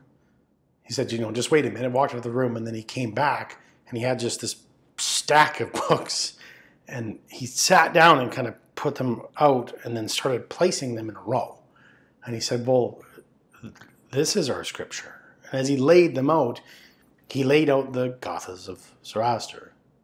And he laid out the Hebrew scriptures. It was even bound separately. It wasn't a New and Old Testament of Christianity. And then he laid out the New Testament and the Quran and the Buddhist scriptures and writings of the Bab and Baha'u'llah. And it just ended up being this, you know, like just beautiful expression of actually seeing what it was that he meant by the unity of religion. Because it was just this this spread, almost like a you know what I mean, like almost like a rainbow of colors. And I remember thinking, like, you know, this is all yours.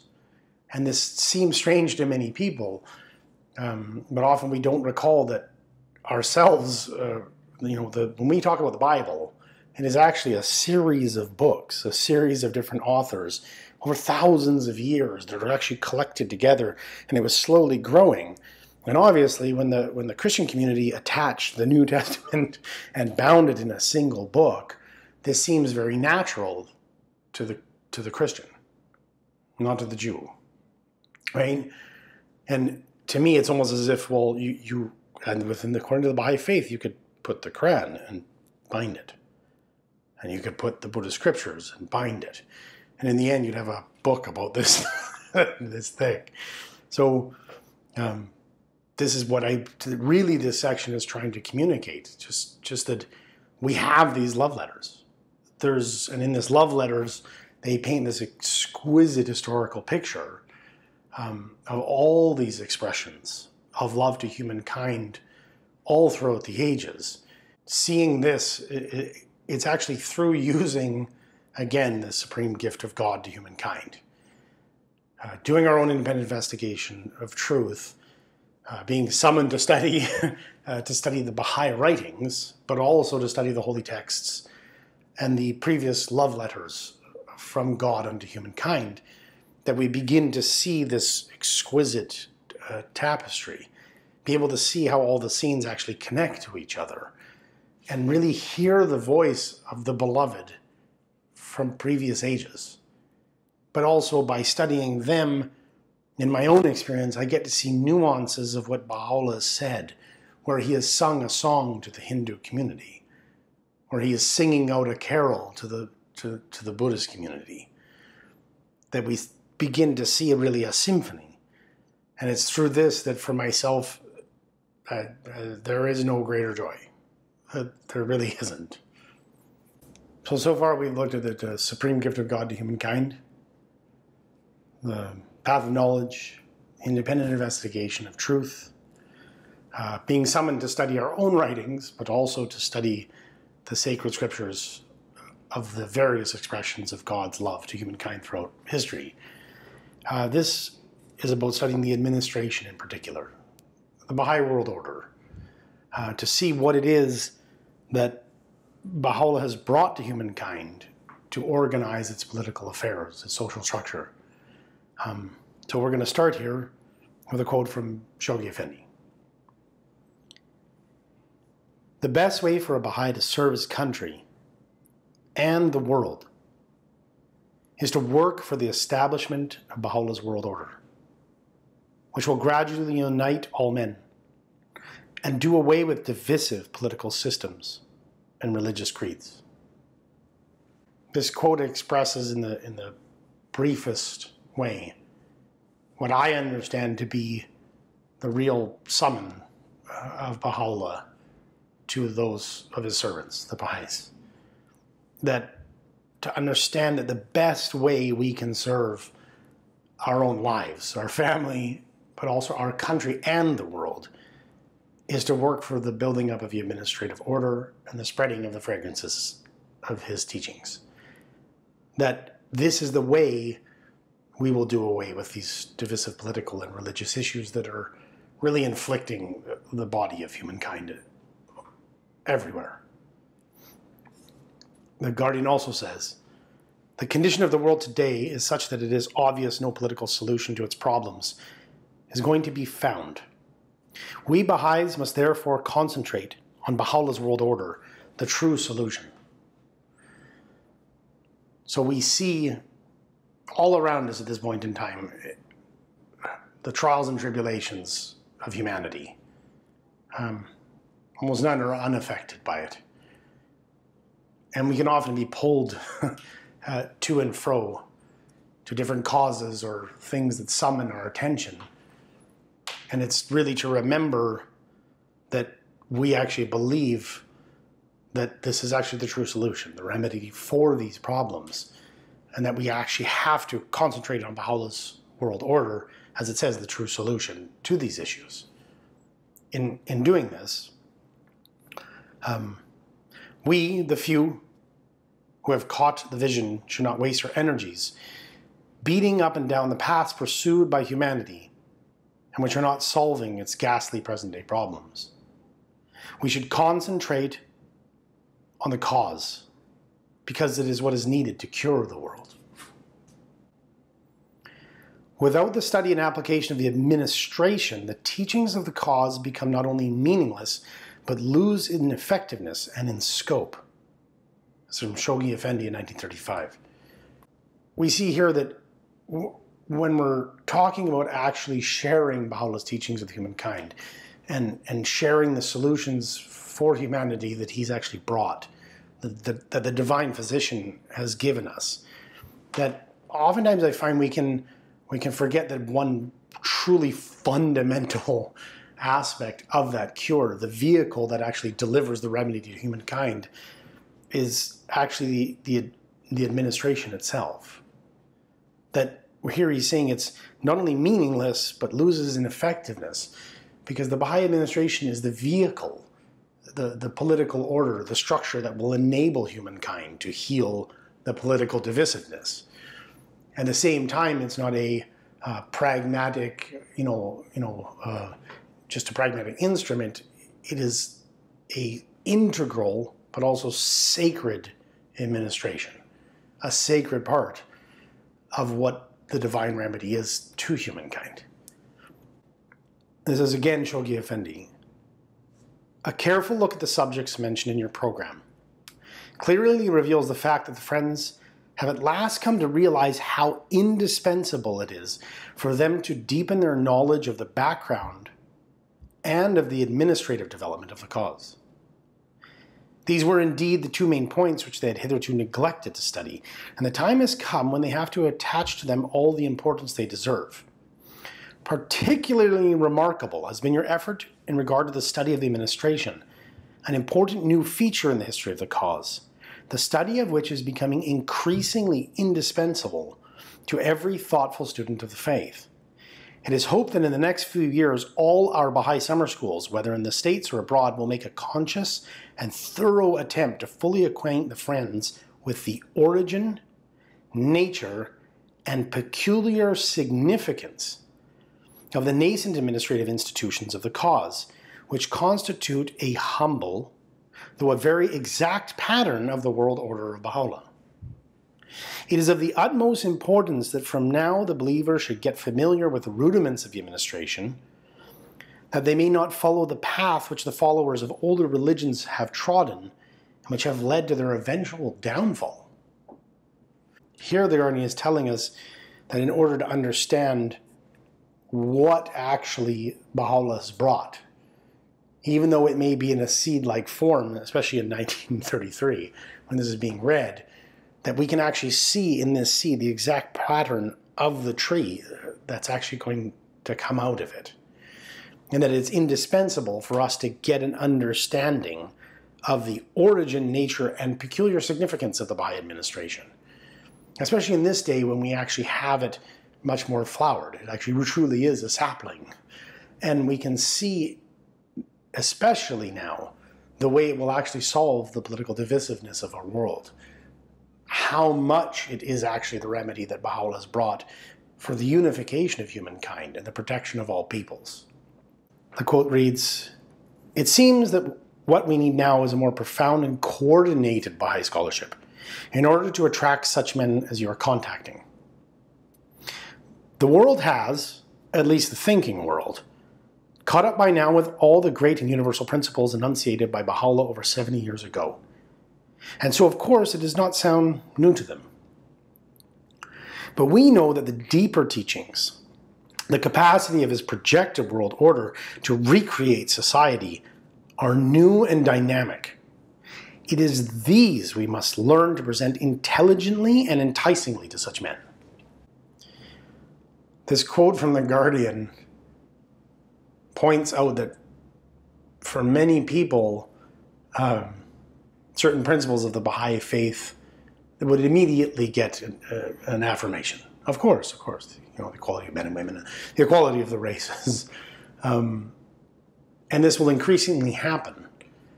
So, and he's telling us that it's actually the deeper teachings of the faith, but also the administrative order, the capacity of his projected world order to recreate society. That once again, many people might choose, you know, this principle of the Baha'i faith or that principle of the five by faith that they find actually beautiful and can agree with. But it, it is actually the world order itself, uh, the administrative order, that if we show to them intelligently and enticingly, that it can actually bring out the deep and profound admiration of all peoples. And we can possibly do this uh, unless we actually do a thorough and deep study of the administrative order, including all the social teachings and the more deeper philosophical, mystical, and spiritual teachings of the Baha'i faith, because they all come as this one, uh, one remedy for humankind and I found myself constantly in my in my own teaching efforts because we'll go through like many of the principles of the Baha'i faith and how exquisite they are.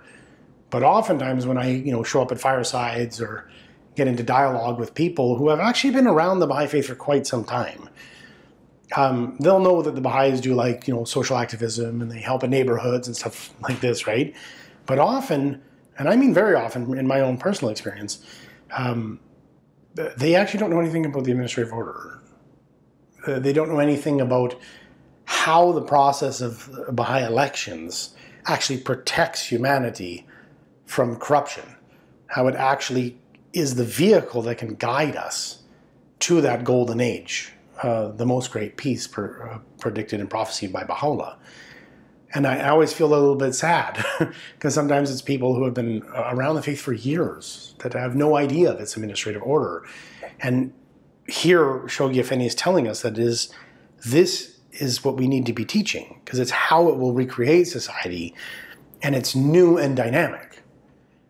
And be able to show that to people will finally give them a, a, a vision as to how they can transform society.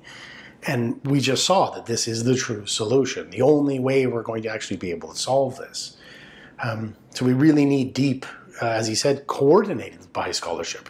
So many people come together to have a deeper and deeper understanding of the political order of Baha'u'llah. This is from the Universal House of Justice, uh, which is the supreme elected body of the Baha'i faith uh, within the Baha'i administration. It is evident then that, as a Baha'i who is a political scientist, you have a great deal of latitude to comment on social issues. It is also possible to participate in the generation and application of knowledge in your field by dealing with topics that are more directly political in nature. You're no doubt aware of the general advice written on behalf of The Guardian that one way to criticize the social and political order of the day without siding with or opposing an existing regime is to offer a deeper analysis on the level of political theory rather than practical politics.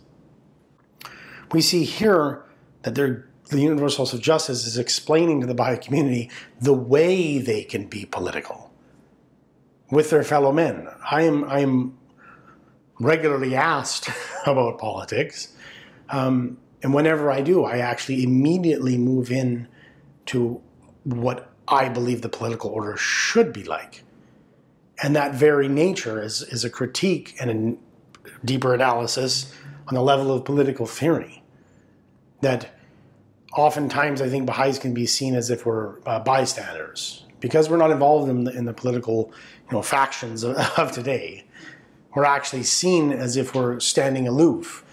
Um, and and we have been given a way to actually address political issues, to share uh, with humanity a new way to look at politics that can actually solve the problems that so upset the average person.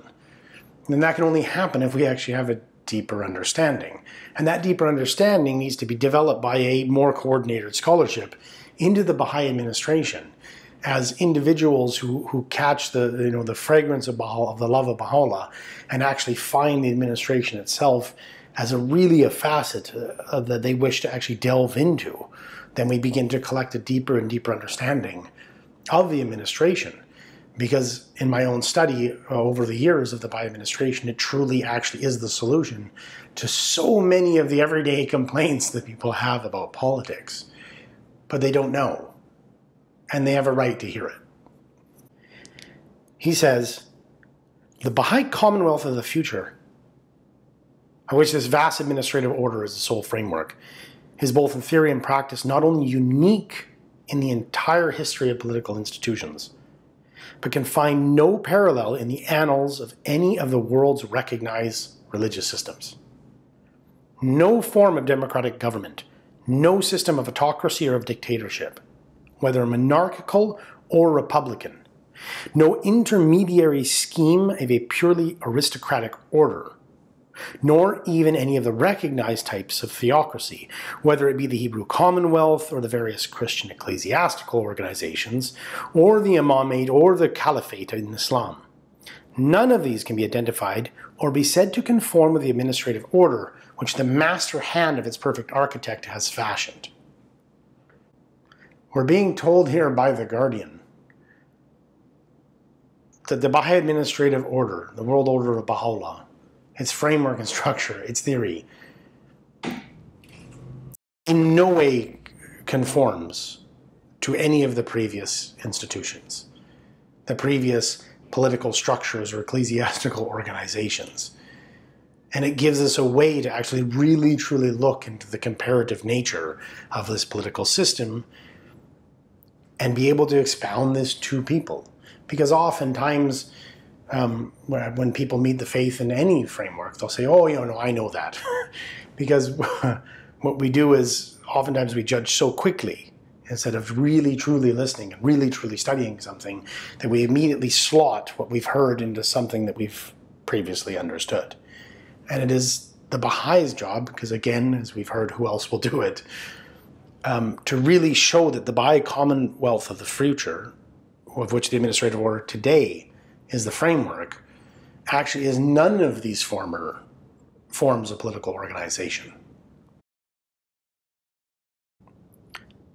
What else could these weighty words signify if they did not point to the inevitable curtailment of unfettered national sovereignty as an indispensable preliminary to the formation of the future commonwealth of all the nations of the world? Some form of world superstate must needs be evolved, in whose favor all the nations of the world will have willingly ceded every claim to make war, certain rights to impose taxation, and all rights to maintain armaments, except for purposes of maintaining internal order within their respective dominions. Such a state will have to include within its orbit an international executive adequate to enforce supreme and unchallengeable authority on every recalcitrant member of the Commonwealth. A world parliament, whose members shall be elected by the people in their respective countries, and whose election shall be confirmed by their respective governments. And a supreme tribunal, whose judgment will have a binding effect even in such cases where the parties concerned did not voluntarily agree to submit their case to its consideration. A world community in which all economic barriers will have been permanently demolished and the interdependence of capital and labor definitely recognized. In which the clamor of religious fanaticism and strife will have been forever stilled, in which the flame of racial animosity will have been finally extinguished, in which a single code of international law, the product of the considered judgment of the world's federated representatives, shall have as its sanction the instant and coercive intervention of the combined forces of the federated units. And finally, a world community in which the fury of a capricious and militant nationalism will have been transmuted into an abiding consciousness of world citizenship. Such indeed appears in its broadest outline the order anticipated by Baha'u'llah, an order that shall come to be regarded as the fairest fruit of a slowly maturing age. This quote from Shoghi Effendi is emblematic of the profound vision actually put forward by Baha'u'llah. A system that touches on international economic order, political order, military order, on international law, international courts, a system that we as Baha'is have the duty to understand and present to the world. Um, we will be looking at this concept uh, in future discussions about what the world order Baha'u'llah really entails. But in this case, uh, it's usually a quote I use because I'll say, you know, is the Baha'i faith non political?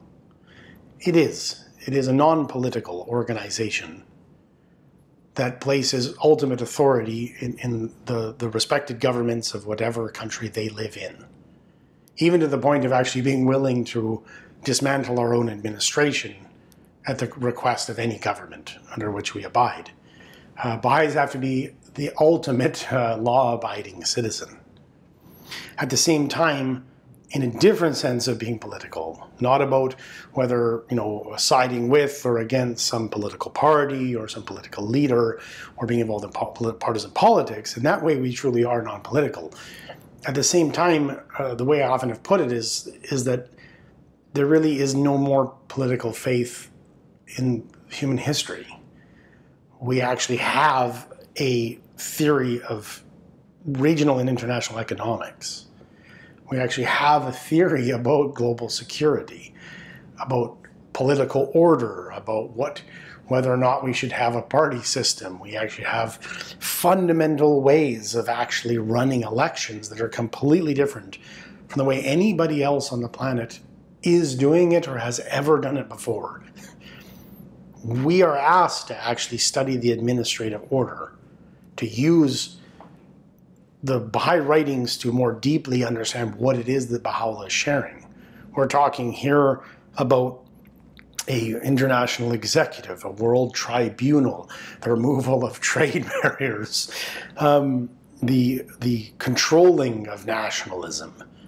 Um, what what Shoghi Effendi says in other places is um, the acceptance of a sane patriotism, right? While at the same time the curtailment of unlimited or unfettered national sovereignty for the greater good.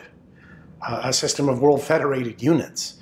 Again, here is not the place to actually go into deeply what the Baha'i administrative order and the future lesser peace and most great peace, as it's called in the Baha'i writings, will actually look like. But to say that part and parcel of what it means to be a Baha'i and be with be deepened as a Baha'i is to truly understand what is the vehicle that Baha'u'llah has brought as the remedy from him, the divine physician, to, to solve the sickness that is afflicting humanity. By the coming dawn, in the title of this section, I mean the coming world order of Baha'u'llah. Um, what we were just looking at, the, the rise of the administration and the unification of the whole world, and how we should be serving this coming dawn. Our first quote here um, is from Shoghi Effendi. The more we see the crying need of the world for the spiritual teachings of our faith, the more restless we should feel in giving out the message and improving the means of diffusing the precepts of the cause. I know for myself because I, I keep informed uh, quite a bit about the, the struggles and trials of humanity. Um, it can be very, very, very difficult to see how much suffering there actually is. And the question is, is how do we respond to that suffering? Some people turn away and ignore it because it's so difficult to actually see. Other people become filled with rage, deep anger. I know myself, I've felt anger at the suffering of humankind. But what is the response we should have? We should feel restless, this quote says. But restless to act, the action itself being to give the message and improve the means of actually sharing that message. So it means we should be wanting to give it and then find out better ways to actually share it with the world. Another quote from Abdu'l Baha. As to the terminology I used in my letter, bidding thee to consecrate thyself to the service and the cause of God, the meaning of it is this limit thy thoughts to teaching the faith. Act by day and night according to the teachings and counsels and admonitions of Baha'u'llah. This is such a striking uh, phrase by Abdu'l Baha. He says to limit our thoughts to teaching the faith. And I think if we move through some of the other quotes, we'll get a better understanding of why. The next quote, which is from Shoghi Effendi.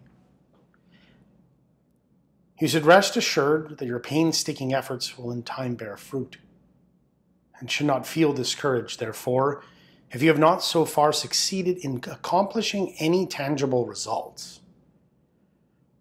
Now is the time of seed sowing, and consequently one of slow and painful progress, but the harvest which the future shall reap will be incalculably rich.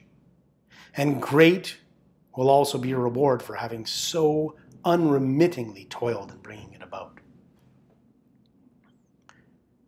Some of the examples that always come uh, to my mind when I read quotes like this is actually the movement for democracy is one of them. I myself live in a, in a democratic country where people can elect their representatives. And I think oftentimes we actually forget how new such an experience is for humankind in the long human history. But there's another aspect of its development that we forget as well, which is that it was built by people. It was developed and promulgated by people. The right to do such a thing was actually won on the backs of people, but not just people who strive and struggled and did all they could to actually forward that cause, but who themselves actually uh, didn't see the fruit of the very thing they were working for. Shoghi Effendi here is talking about not being discouraged when you don't see tangible results. Why? Because all great movements in human history actually had to have people who, at the dawn or the beginning, when that movement was in its seed like form, couldn't pluck the apples or fruits from that tree and eat of them. But they actually needed to tend it, or else we would never be able to eat it. And we're trying to develop, as we just saw in the administrative order, a system which will actually cure the ills of humankind and really bring on a golden age of humanity, a united world. And until that occurs, the suffering of the patient will, continue. So we are being asked in all of these sections uh, that we've been looking at to really delve to both into the writings and into our own hearts so that we can muster the, the strength to actually do this. And Abdu'l Baha telling us to limit our thoughts to teaching the faith, we have to understand how expansive that is, how much of a human expression that it can actually be. And in here to build up a system for which we will not harvest its fruits. Um, we think, I think often, for example, of the suffragette movement for women's equality.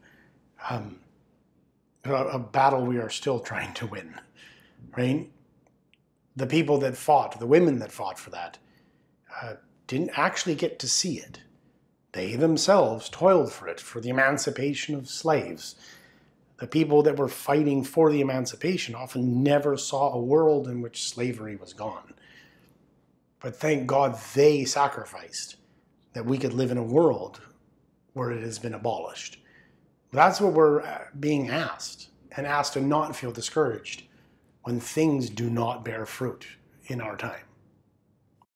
And we have to realize that the, the source of the ills of humankind, the battle we're waging, is not one of money or resources. We have the money or the resources. We actually could solve the world's problems. What is holding us back is how we see the world, how we see ourselves, the nature of humankind. It is fundamentally a, a spiritual issue, a, a malady that is holding us back from becoming what we truly could be as individuals and also as, as a planet, as a species. There is so much suffering, such a great and desperate need for a true remedy. And the Baha'i should realize their sacred obligation is to deliver the message to their fellow men at once and on as large a scale as possible. If they fail to do so, they're really partly responsible for prolonging the agony of humanity. This quote from Shoghi Effendi can be very emotionally challenging. um, we're being told we have a sacred obligation to take a remedy, a medicine, to cure humankind. We're being asked to actually take a remedy, a medicine for the sickness of humankind and bring it to our fellow men as quickly as we can and as large a scale as possible. Because if we don't do that, we're prolonging their agony. And if, as a as a Baha'i who believes in Baha'u'llah's solution for the world's problems, for his remedy, but how could I possibly deny this, no matter how emotionally uncomfortable that might be. Because it's as if we had some transformative technology that could actually solve the world's energy problems or give clean water to everyone or be able to feel like to solve the problems of starvation or malnutrition. And we're holding that technology and we just have to bring it to the right people and actually that technology would be implemented. But we sit back. So naturally, that's actually going to prolong their agony. If we have the remedy for the sickness of a person and we know they need it, but we sit back, of course the sickness continues. It is a very difficult thing to square ourselves with at times, but it's something we have to realize and really, really, really take to heart.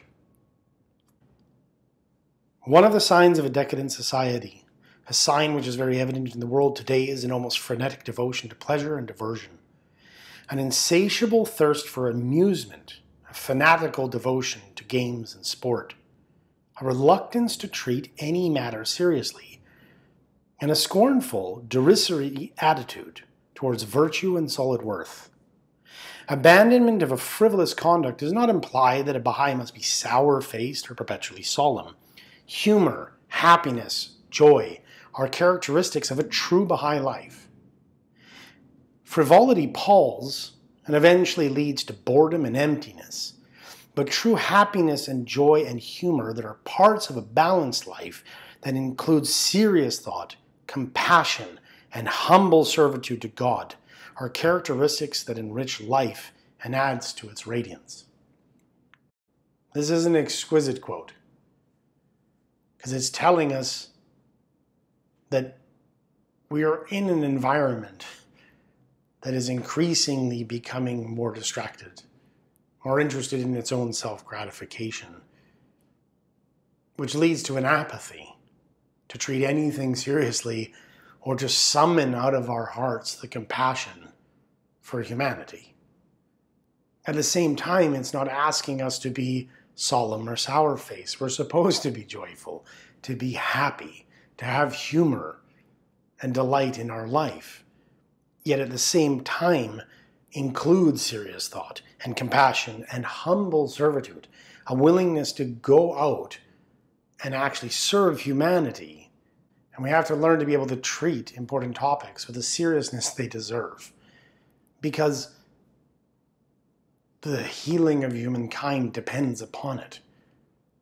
We actually have a remedy. It doesn't mean we can't enjoy our lives and have delights. Yet at the same time, a balanced life is one that actually includes both.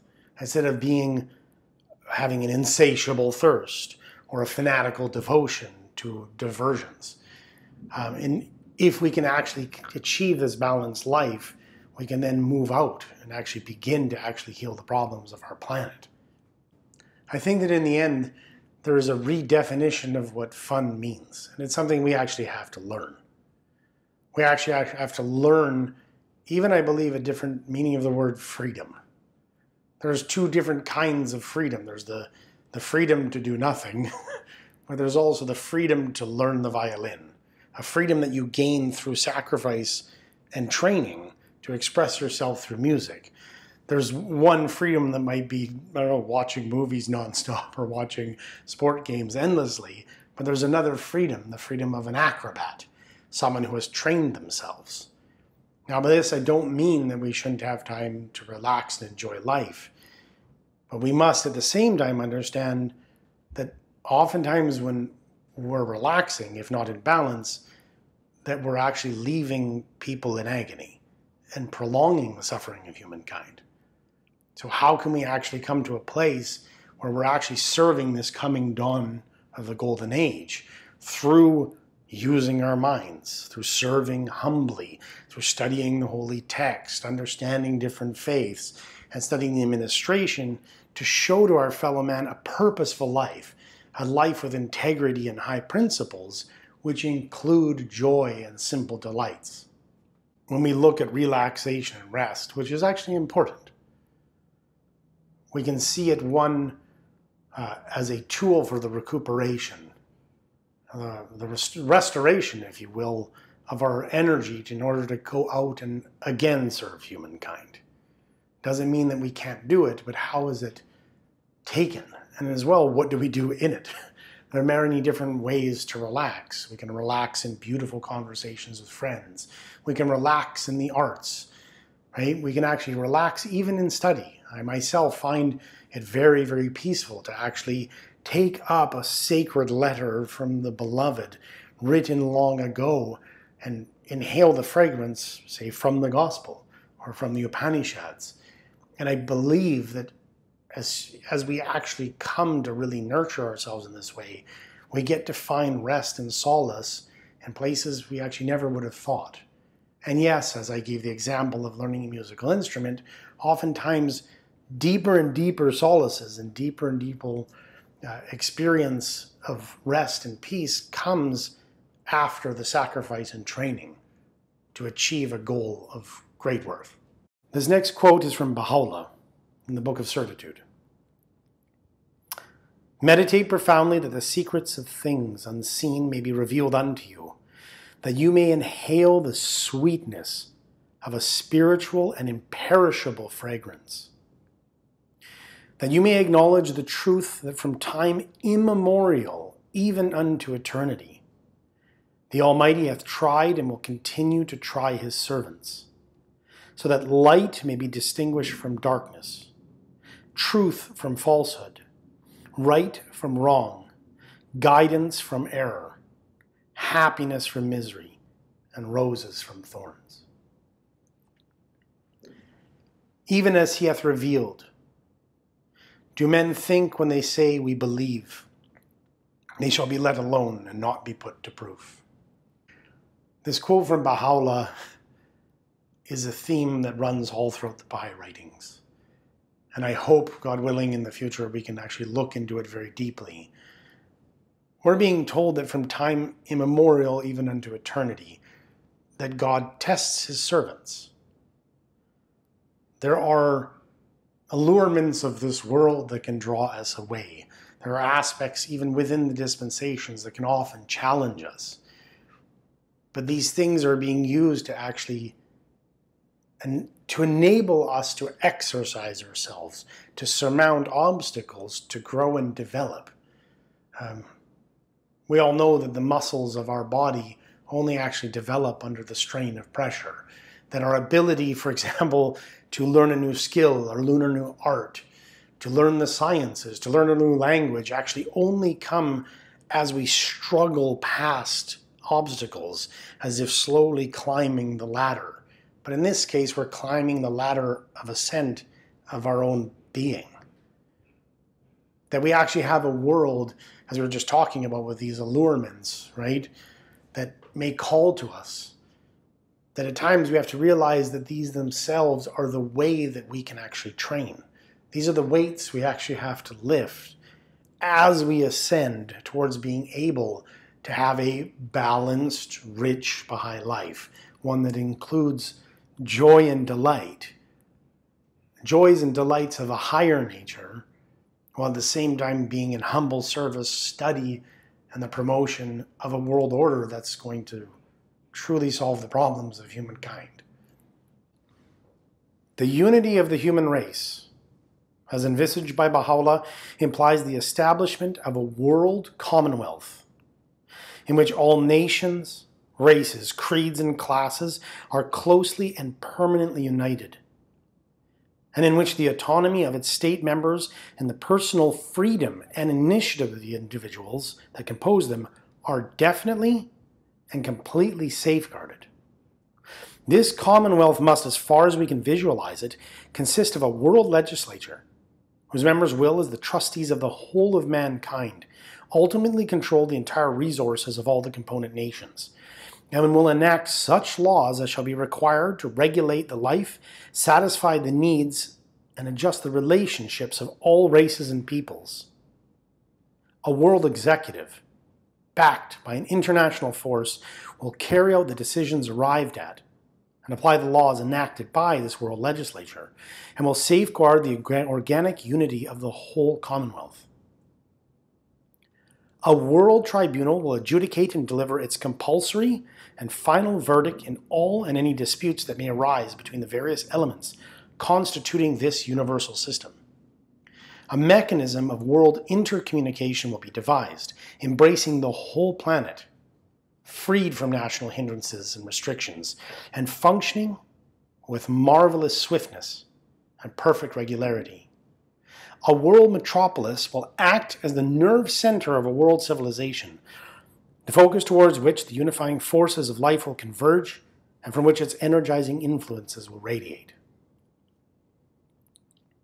A world language will either be invented or chosen from among the existing languages and will be taught in the schools of all the federated nations as an auxiliary to their mother tongue. A world script, a world literature, a uniform and universal system of currency, of weights and measures, will simplify and facilitate intercourse and understanding among the nations and races of mankind.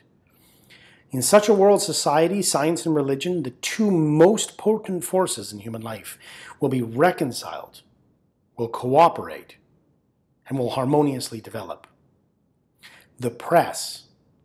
Under, the press will, under such a system, while giving full scope to the expression of the diversified views and convictions of mankind, cease to be mischievously manipulated by vested interests, whether private or public, and will be liberated from the influence of contending governments and peoples.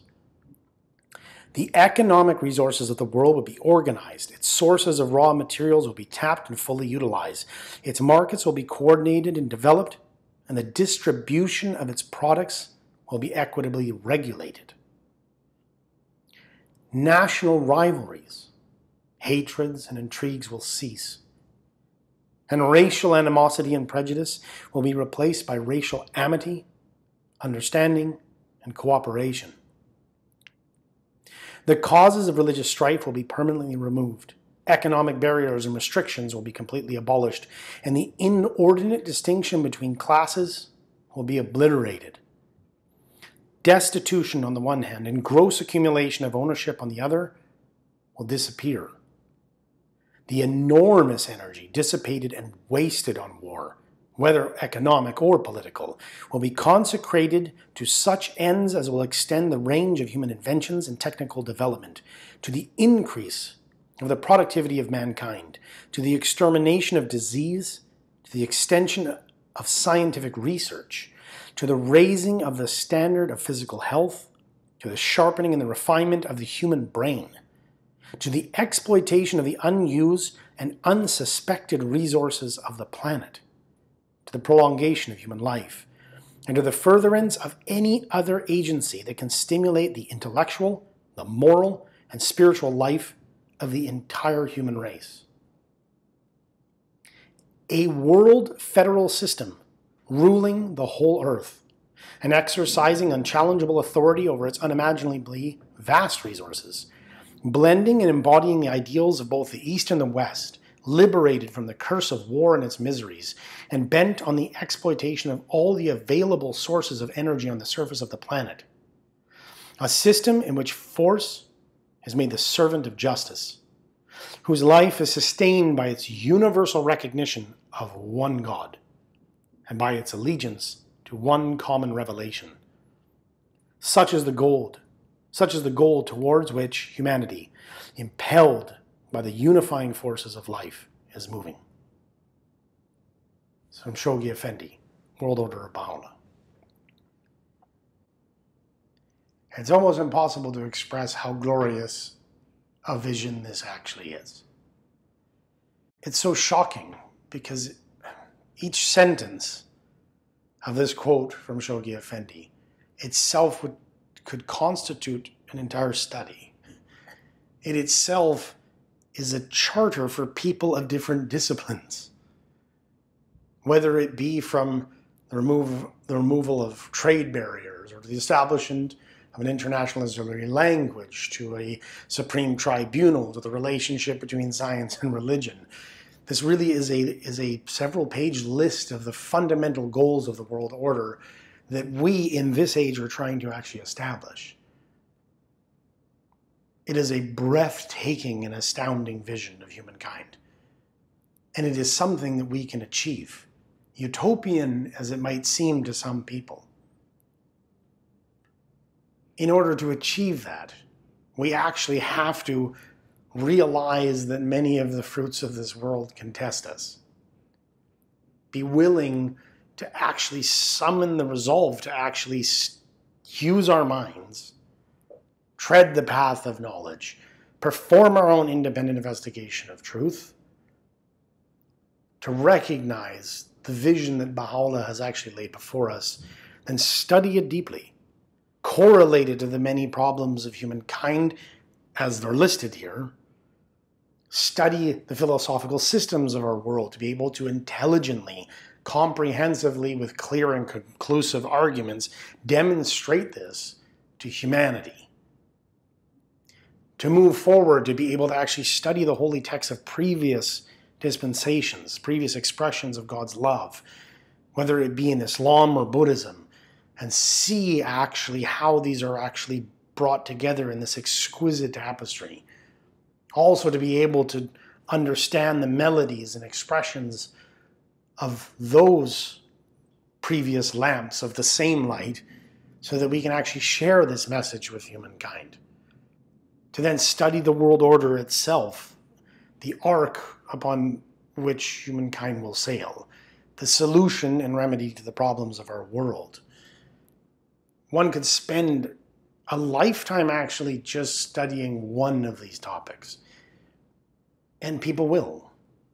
People will spend their entire life trying to work out and produce some of the economic, political, scientific, linguistic aspects of the vision that's been put forward here. And that's what we're asked to do.